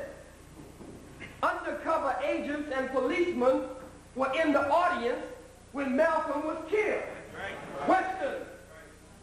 Why didn't they jump up with their service revolvers and engage the assassins in open gunfire in the Audubon Auditorium? How do we know they were present? Let's see. Good question. A high police official said, as reported in the Herald Tribune, February 24, 1965, that several members, how many? Several. Several members of the highly secretive Bureau of Special Services BOSS were present in the audience at the time of Malcolm's killing. According to police officials, there were policemen outside also. A patrolman was stationed outside the ballroom. The New York World Telegram reported February 22, 1965. A high police official, after confirming, after doing what? Confirming. That police agents were planted inside of the meeting, added, and there were a couple of uniformed men outside. The Herald Tribune reported February 23, 1965. Deputy Police Commissioner Walter Arm said February 22, 1965, that a special detail had been assigned outside of the ballroom. Assistant Chief Inspector Harry Taylor, in charge of the Manhattan North Uniform Police, said February 21, 1965, that two sergeants and 18 patrolmen had been stationed in the area. The New York Times reported on February 23, 1965. Again, question. If the police were present, a crime was being committed. Why didn't the police jump up in the audience with their service revolvers and attempt to arrest or engage or kill the assassins of Malcolm X, or the would-be assassins of Malcolm X? Gene Roberts leans over him, pretends that he's giving him artificial respiration. Eugene Roberts, a member of BOSS, and Bruce Perry interviewed him and tells you in the back of his book very definitely that Eugene Roberts is an undercover agent. Bruce Perry admits it in his book. But Bruce Perry tries to say that the United States government had nothing to do with Malcolm's murder. Nothing.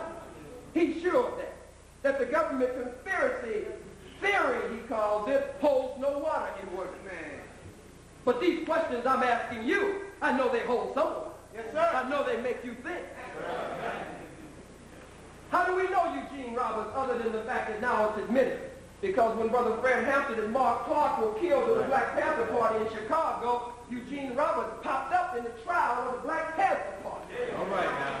How do we know agents were in these organizations? Because when Dr. Martin Luther King Jr. was killed by the government, it was an FBI agent and informer that was informant that was seen leaning over him, bending over him, pretending to be giving him artificial respiration. Come on. Read Mark Clark and Dick Gregory's book code named Zorro on the assassination of Dr. Martin Luther King Jr. and the government's role in Dr. King's All right, wake us up. Huh? That's right. Now, here's another key point. Reuben Francis, who had just come into the movement a few weeks ago, was supposed to be one of Malcolm's top bodyguards then. He just showed up. You with me? Tom or Talmadge Hagan, or Talmadge, a.k.a. Hayer, who is one of the admitted assassins of Malcolm, who was not a Muslim, was not a member of the Nation of Islam, but claims he is a Sunni Muslim now, and who testified in open court that he had that he did not know the other brother, and that they had nothing to do with it. The one that was picked up a week later, and the other one that was picked up a week and a half later.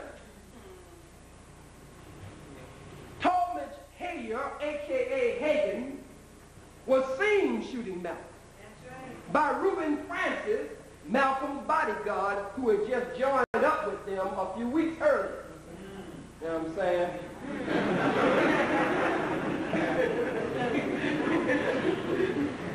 As Talmadge Hayer is making his getaway, Reuben Francis, uh, first Eugene, what's his name?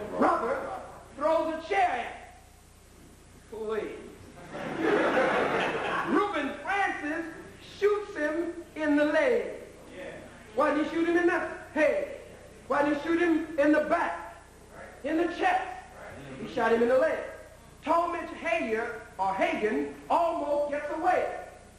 But the crowd grabs him and starts beating him. Right. Almost like magic. The two patrolmen rush to him, rescue him from the crowd, throw him in a, a car, and speed off. But they also catch another one. I brought the newspapers here with me. I went and did the, got the microfilm and went all in and got everything. Yes, sir. I got all the papers that came out time. I was ready for this truck tonight. I was ready for this truck.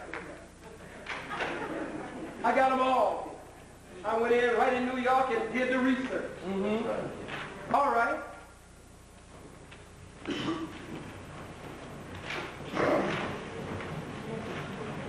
When the newspapers came out, there were three daily newspapers in New York at that time. How many? Three. How many? Three. There were three daily newspapers at that time. All three of them said two men were captured at the scene of Malcolm's murder. Mm. That was the headline of the paper. Yes, sir. Two men. They even named a patrolman Hoy, who arrested one of them and whisked him off to one of the major po- police precincts, I believe it was Wadsworth, and said that all of the top brass converged on that precinct to talk to him and to interrogate him. But brothers and sisters, do you know what? When the next issue of the newspaper came out, all three of the newspapers dropped the second mystery man from their story. And all of them said one suspect was arrested in the murder of Malcolm X. What happened to the second one? All right. Who was the second one? Why did all of the top brass of the police department converge on that precinct to talk to him? Mm-hmm. And since maybe that was a mistake, Bruce Perry said. Then if that was a mistake, why didn't all three of the daily newspapers, including the New York Times, why didn't they issue some kind of explanation to the people since they said it was two? There was one newspaper, the New York Herald Tribune, one of the main ones. I want to talk to you about the New York Herald Tribune. Oh, second. This is the New York Herald Tribune. But that's not what I want to talk about. I want to talk about this USA Today September 1979 article on mass media, CIA perversion of domestic news. It says the sweeping involvement of the Central Intelligence Agent in the domestic press has not really been understood. Dozens of articles have appeared detailing the CIA's use of the press as a cover for its agents. As a cover for what? For its agents. In, uh, it goes on to say CIA Director Stansfield Turner admitted that the CIA was doing this. In print journalism, the actions of the CIA-owned Forum World Features provides an equally suspicious picture.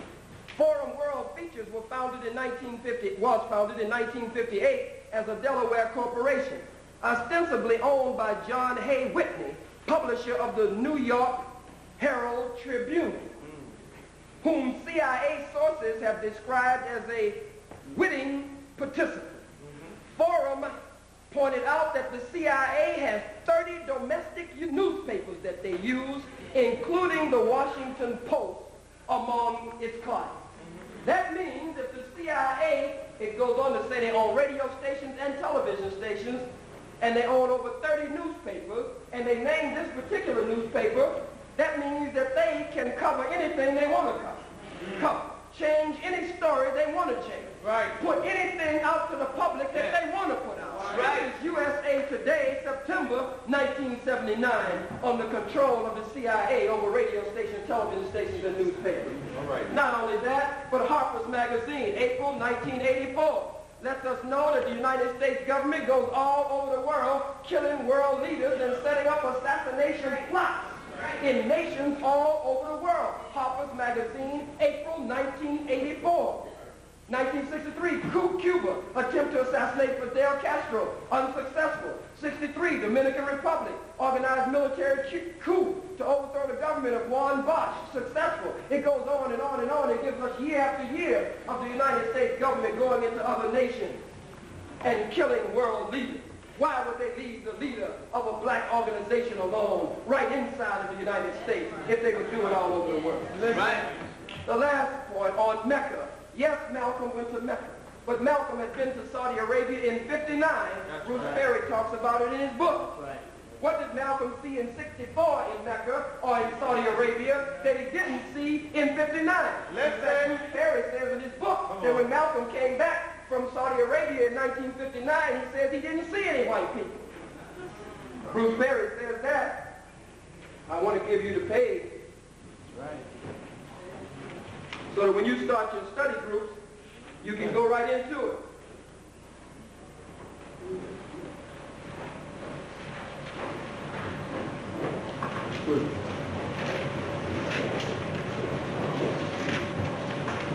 That's all right.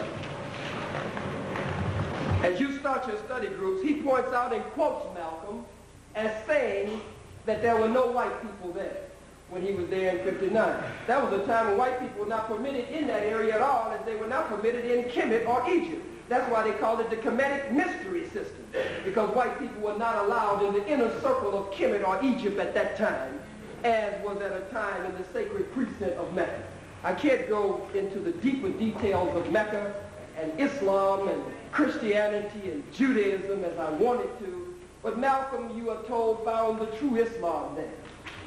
Well, the most honorable Elijah Muhammad teaches us that Islam and the honorable minister Louis Farrakhan that Islam, Christianity, and Judaism come from the soul of the black man and black woman. That's right. Come from us. There would be no Islam, no Christianity, and no Judaism. That's right. I saw racism all over Mecca. I've been seven times. Go ahead. Seven. Malcolm is El Hajj, was El Hajj Malik El Shabazz. Question me on that uh, title or credential also. I'm El Hajj too. What year did you go? Find out for yourself. go to Mecca. Right. Come on, brother. They got pictures of Malcolm and there's a snagger tooth boy. You get one like that on me when I was growing, when I was not shaving my head every day. You'll work for.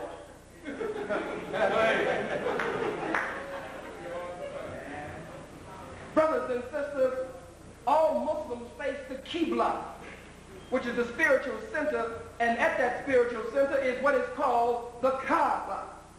In ancient Kemetic teachings, when you study the Neter, the hieroglyphics, Kaaba means the Ka and the Ba, the spirit and the soul.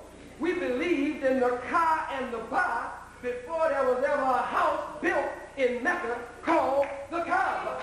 That comes from the nature and the soul of the black man and woman. We always believed in the one God. That's right. No matter where you find us in Kulukulu, Shango, Oshun, Ogun, Yemonja, Obatala, Ile, Ba, Pata, Amin Ra, Amin Aten, Asa, Aset. We always, Chuku, we always believed in the one God. So understanding this, then you should understand that Malcolm must have had another purpose in mind.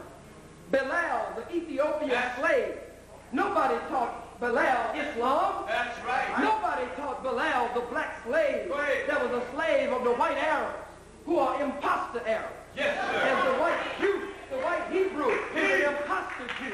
You are the true Jew. You are the true Hebrew. You are the true Arab.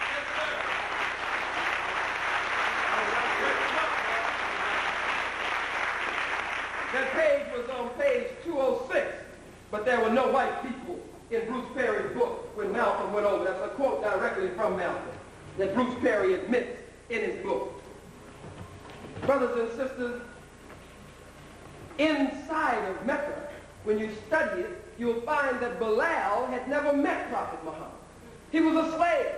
Read Dr. Chancellor Williams' Destruction of Black Civilization. You'll see how that whole area changed from black to brown to white. There is no Middle East.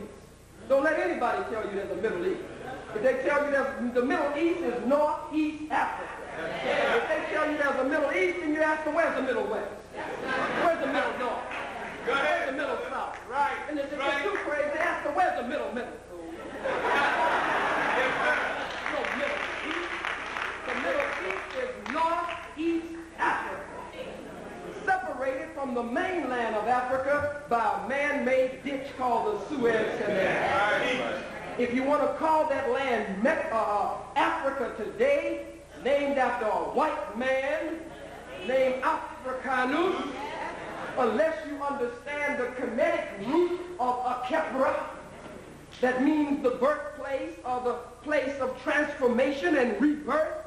If you don't know about that, then you should shut up. Because Africa is a white name.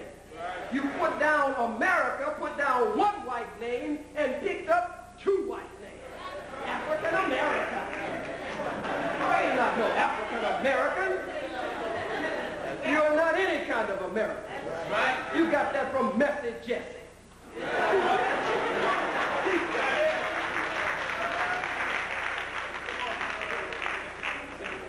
Go ahead. Got that from Jesse, that African American. Bilal already knew about the one God. The real land question hasn't even come up in the Middle East. They talk about this so-called Arab, imposter Arab, and imposter Palestinian or, or, or, or Jew. The real land question, the land belongs to us. We were driven from the centers of power. And these hordes of people from Europe came in and took over our religion, culture, God, and everything. Bilal believed in the one God. They were dragging him in the sun, beating him and punishing him because he wouldn't, he wouldn't bow down to the idol gods in the Kaaba. Where did he know about it from? If he was from Ethiopia and had never met Prophet Muhammad. It was coming up out of his genetic memory bank. It's his nature to believe in the one God, right? When they finally bought his freedom through Abu Bakr, then he had a unique way that he prayed and called the faithful to prayer. So they went and told the prophet that. The prophet said, bring him to me. Bilal went to the prophet and taught him. The prophet did not teach Bilal how to call the prayer and how to pray in that special way. They told the prophet about Bilal. So the prophet said he heard Bilal, he had a vision, and he heard Bilal's footsteps going into paradise or Jannah ahead of him. The prophet said in one hadith that black people would go into Jannah or paradise ahead of all the other. Inside of Mecca is what is called the Hajar or the Aswad or the black stone. Right. All of the pilgrims kissed the black stone. Mm. But six miles outside of Mecca in Mina are three white pillars. They won't even put the white one inside of Mecca. And all of the pilgrims gather 49 stones in the valley of Muzdalifah, and they stoned the sheikh, the white devil. They killed the white devil. Malcolm went on that ritual. All right. Malcolm understood all of that. All of the pilgrims killed the white devil, and they kissed the black stone inside of Mecca. Malcolm, brothers and sisters, did not really change that much when he went to Mecca. But Malcolm wrote to the civil rights leaders while he was over there so that he could come back and become the popular leader of the civil rights movement. Mm. But he had to build a new platform and a new base because he had spanked the civil rights leaders so hard over the years. Right, right. So he had to write them and tell them, I changed. I've changed. Integration can work. Malcolm was not a ritualist. Malcolm was a realist. Right. And Malcolm knew that just because it worked during a ritual or a ceremony in Mecca for a few days, that when everybody put back on their traditional clothes and went back home, a nigger was going to be a nigger all over again. Malcolm. So whatever Malcolm saw in 64, you can believe he saw it in 59 when he went to Saudi Arabia. Right. But why did he talk about it in 64 but didn't talk about it in 59? These are questions you have to ask yourself. And so now I'm really finished. And I thank you for being as kind and as attentive as you have been. There's so, so much more to be said, but we want to at this time. Uh, as you have been as attentive as you have been, and it's very hot in here, to thank you for your kind attention. I hope that in some way, no matter how small, I hope that you have learned something tonight that will pull us closer together and give us a better understanding of the most honorable Elijah Muhammad, El-Hajj Malik El-Shabazz, Minister Malcolm X, yes, the Honorable Minister Louis Farrakhan, and our liberation and salvation struggle here in the hells of North America. Thank you for listening.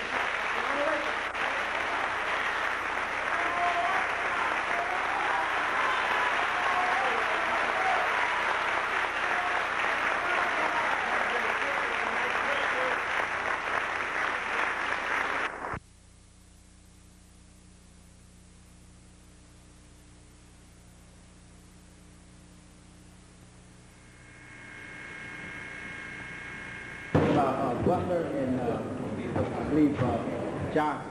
Yes, sir. You said you spoke to both of them. Oh, I was one of them. Uh, okay, you said you spoke to one of them, but you just said something about uh, you had interviewed him on concerning Malcolm X's uh, assassination, but you never, you never got a chance to uh, elaborate on that. These brothers were innocent.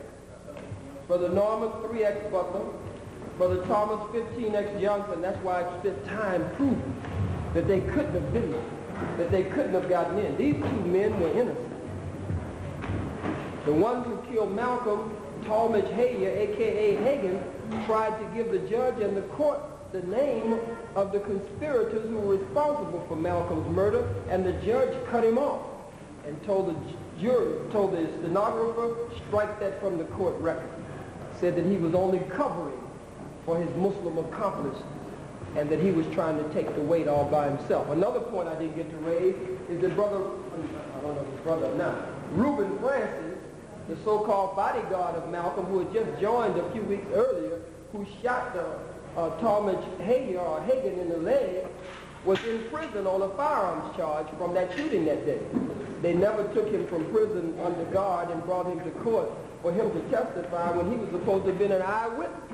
But they never brought him to the courtroom at all his, his testimony, I'm sure you would all agree, could have been a very key testimony. Malcolm's bodyguard, who shot one of the men at the scene, was in prison for the same weapon that he shot him, shot him with, shot the uh, Thomas Hayer with. But they never brought him from prison under guard to appear in court. Okay, I got one more question too.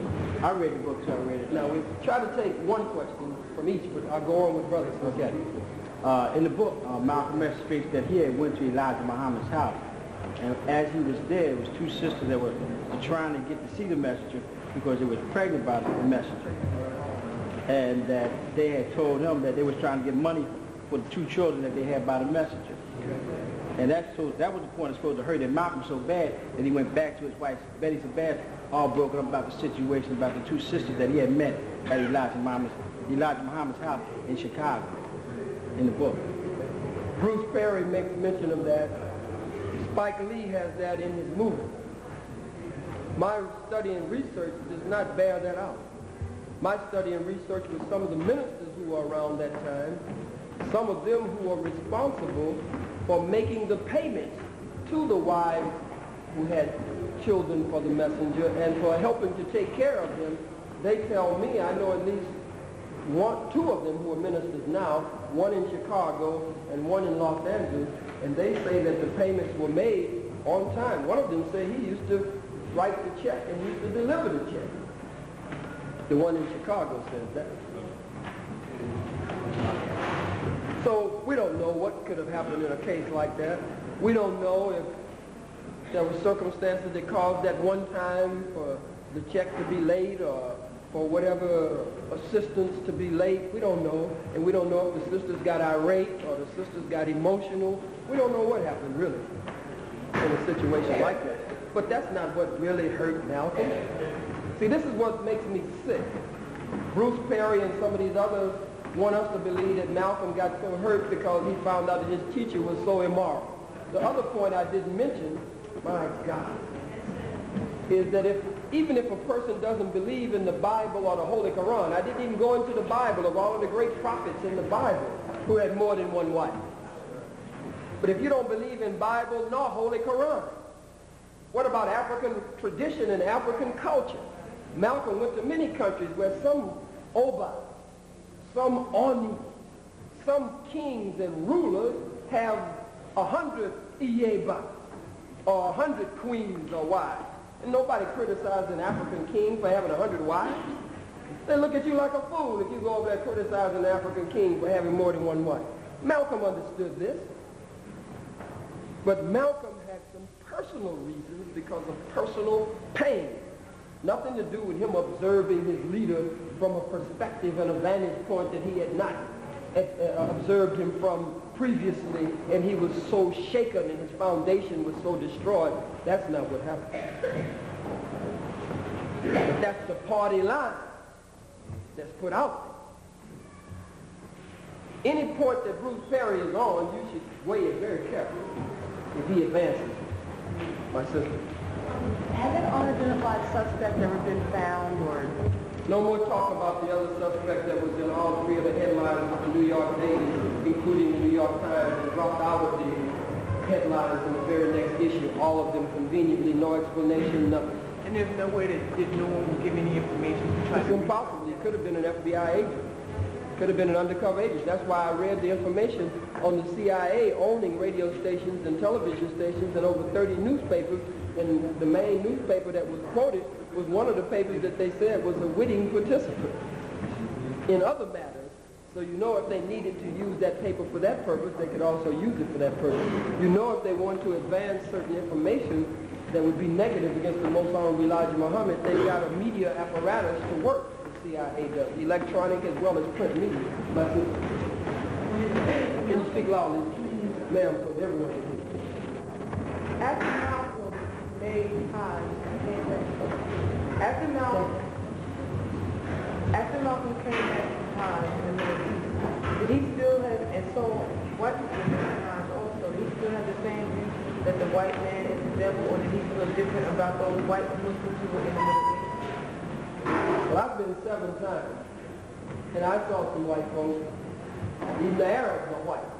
They're not the true And they are as racist as they can be.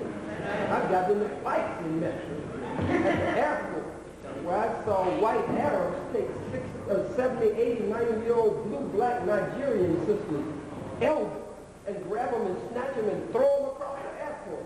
I couldn't speak a word before she left his fingertips. I was on his behind, snatched him up, and threw him up against the wall. My mom. I've seen ghettos in there. I've seen white Arabs come out with bread in their robes, with black people begging in the street, and they take the bread and throw it up in the air, let it hit the dirt, and make black people stir in the dirt together. I didn't say it on the tape, but I wish we could add these things in the question and answer period to the tape. But our leader in teaching, our leader in teaching, That's right. the Honorable Minister Louis Farrakhan, and in some cases I've traveled with him.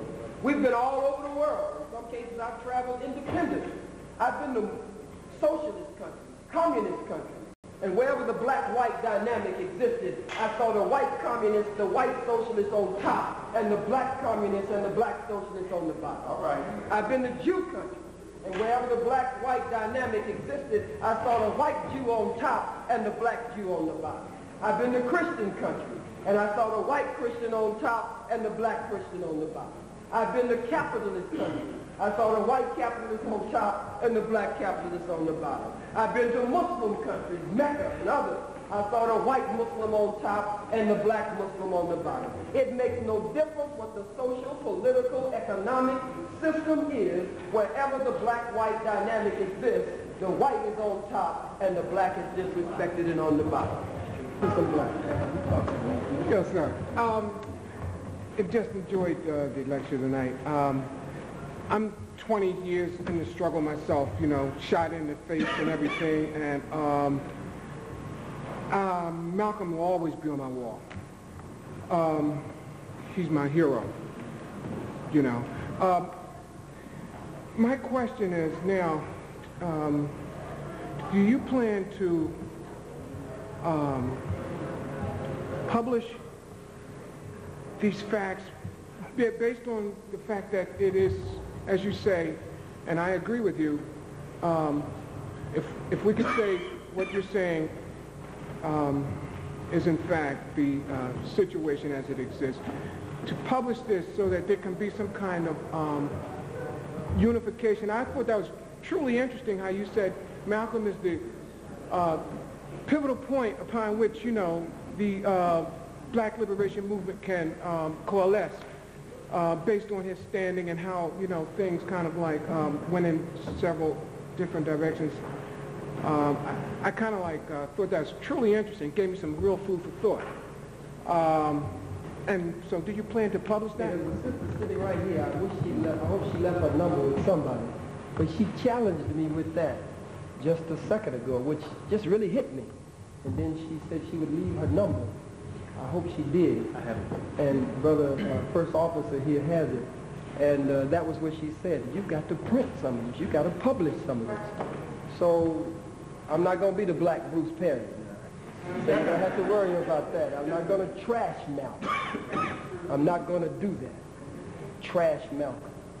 We draw from his poverty and learn lessons from the negative. None of us are perfect. We all stumble.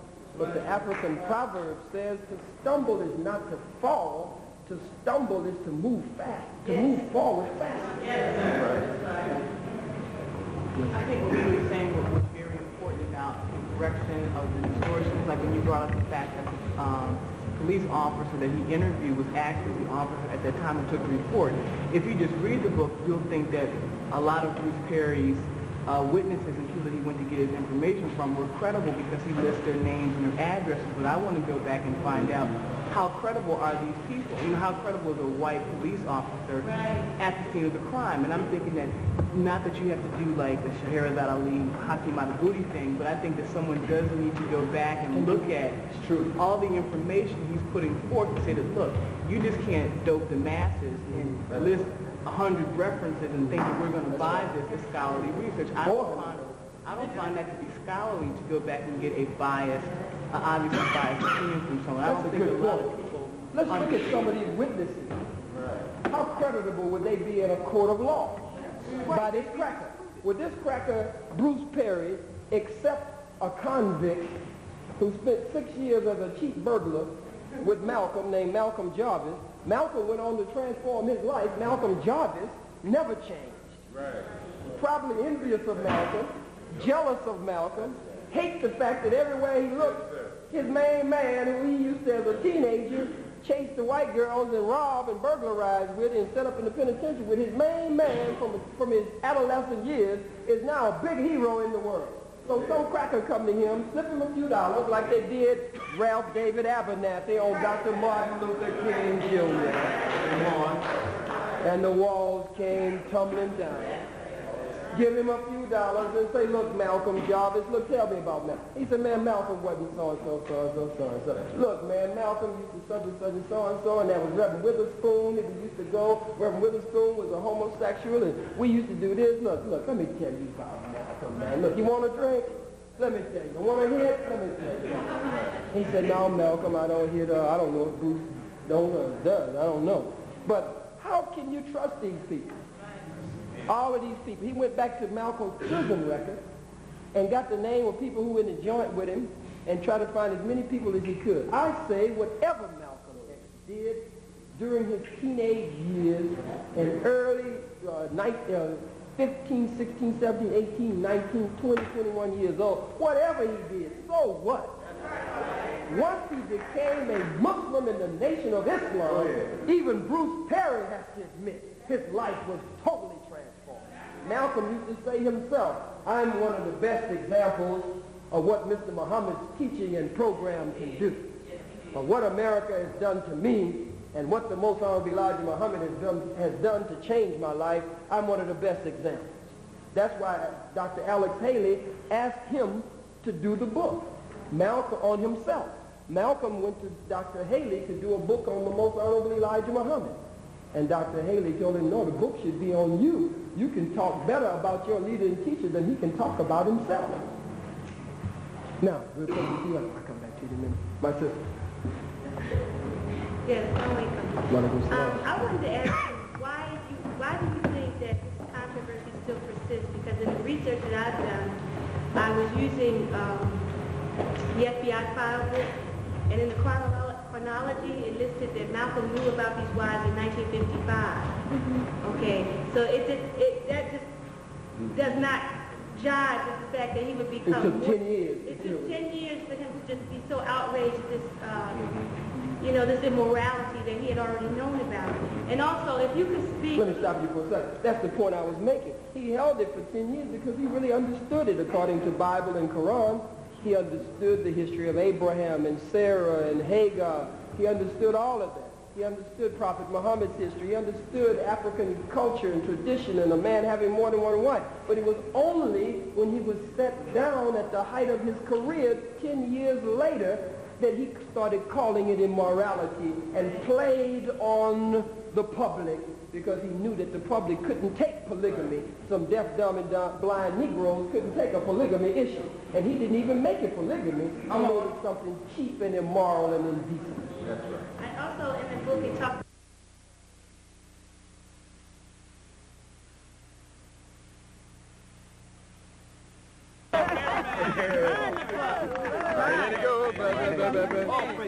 Hey, you hold it, brother, because that fire will get you, brother, in my hand.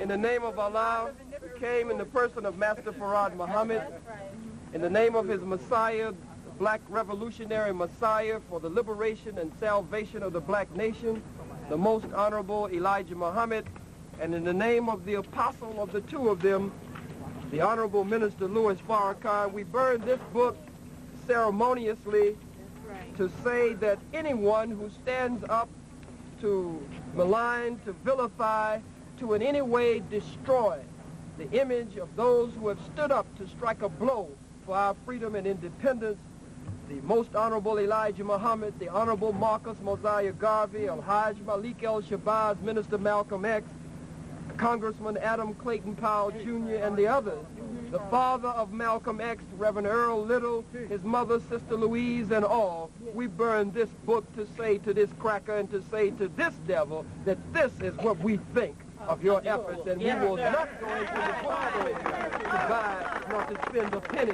on this crack. Praise be to Allah. And that's why Bruce Perry didn't come. He thought that after the debate, he would be out here.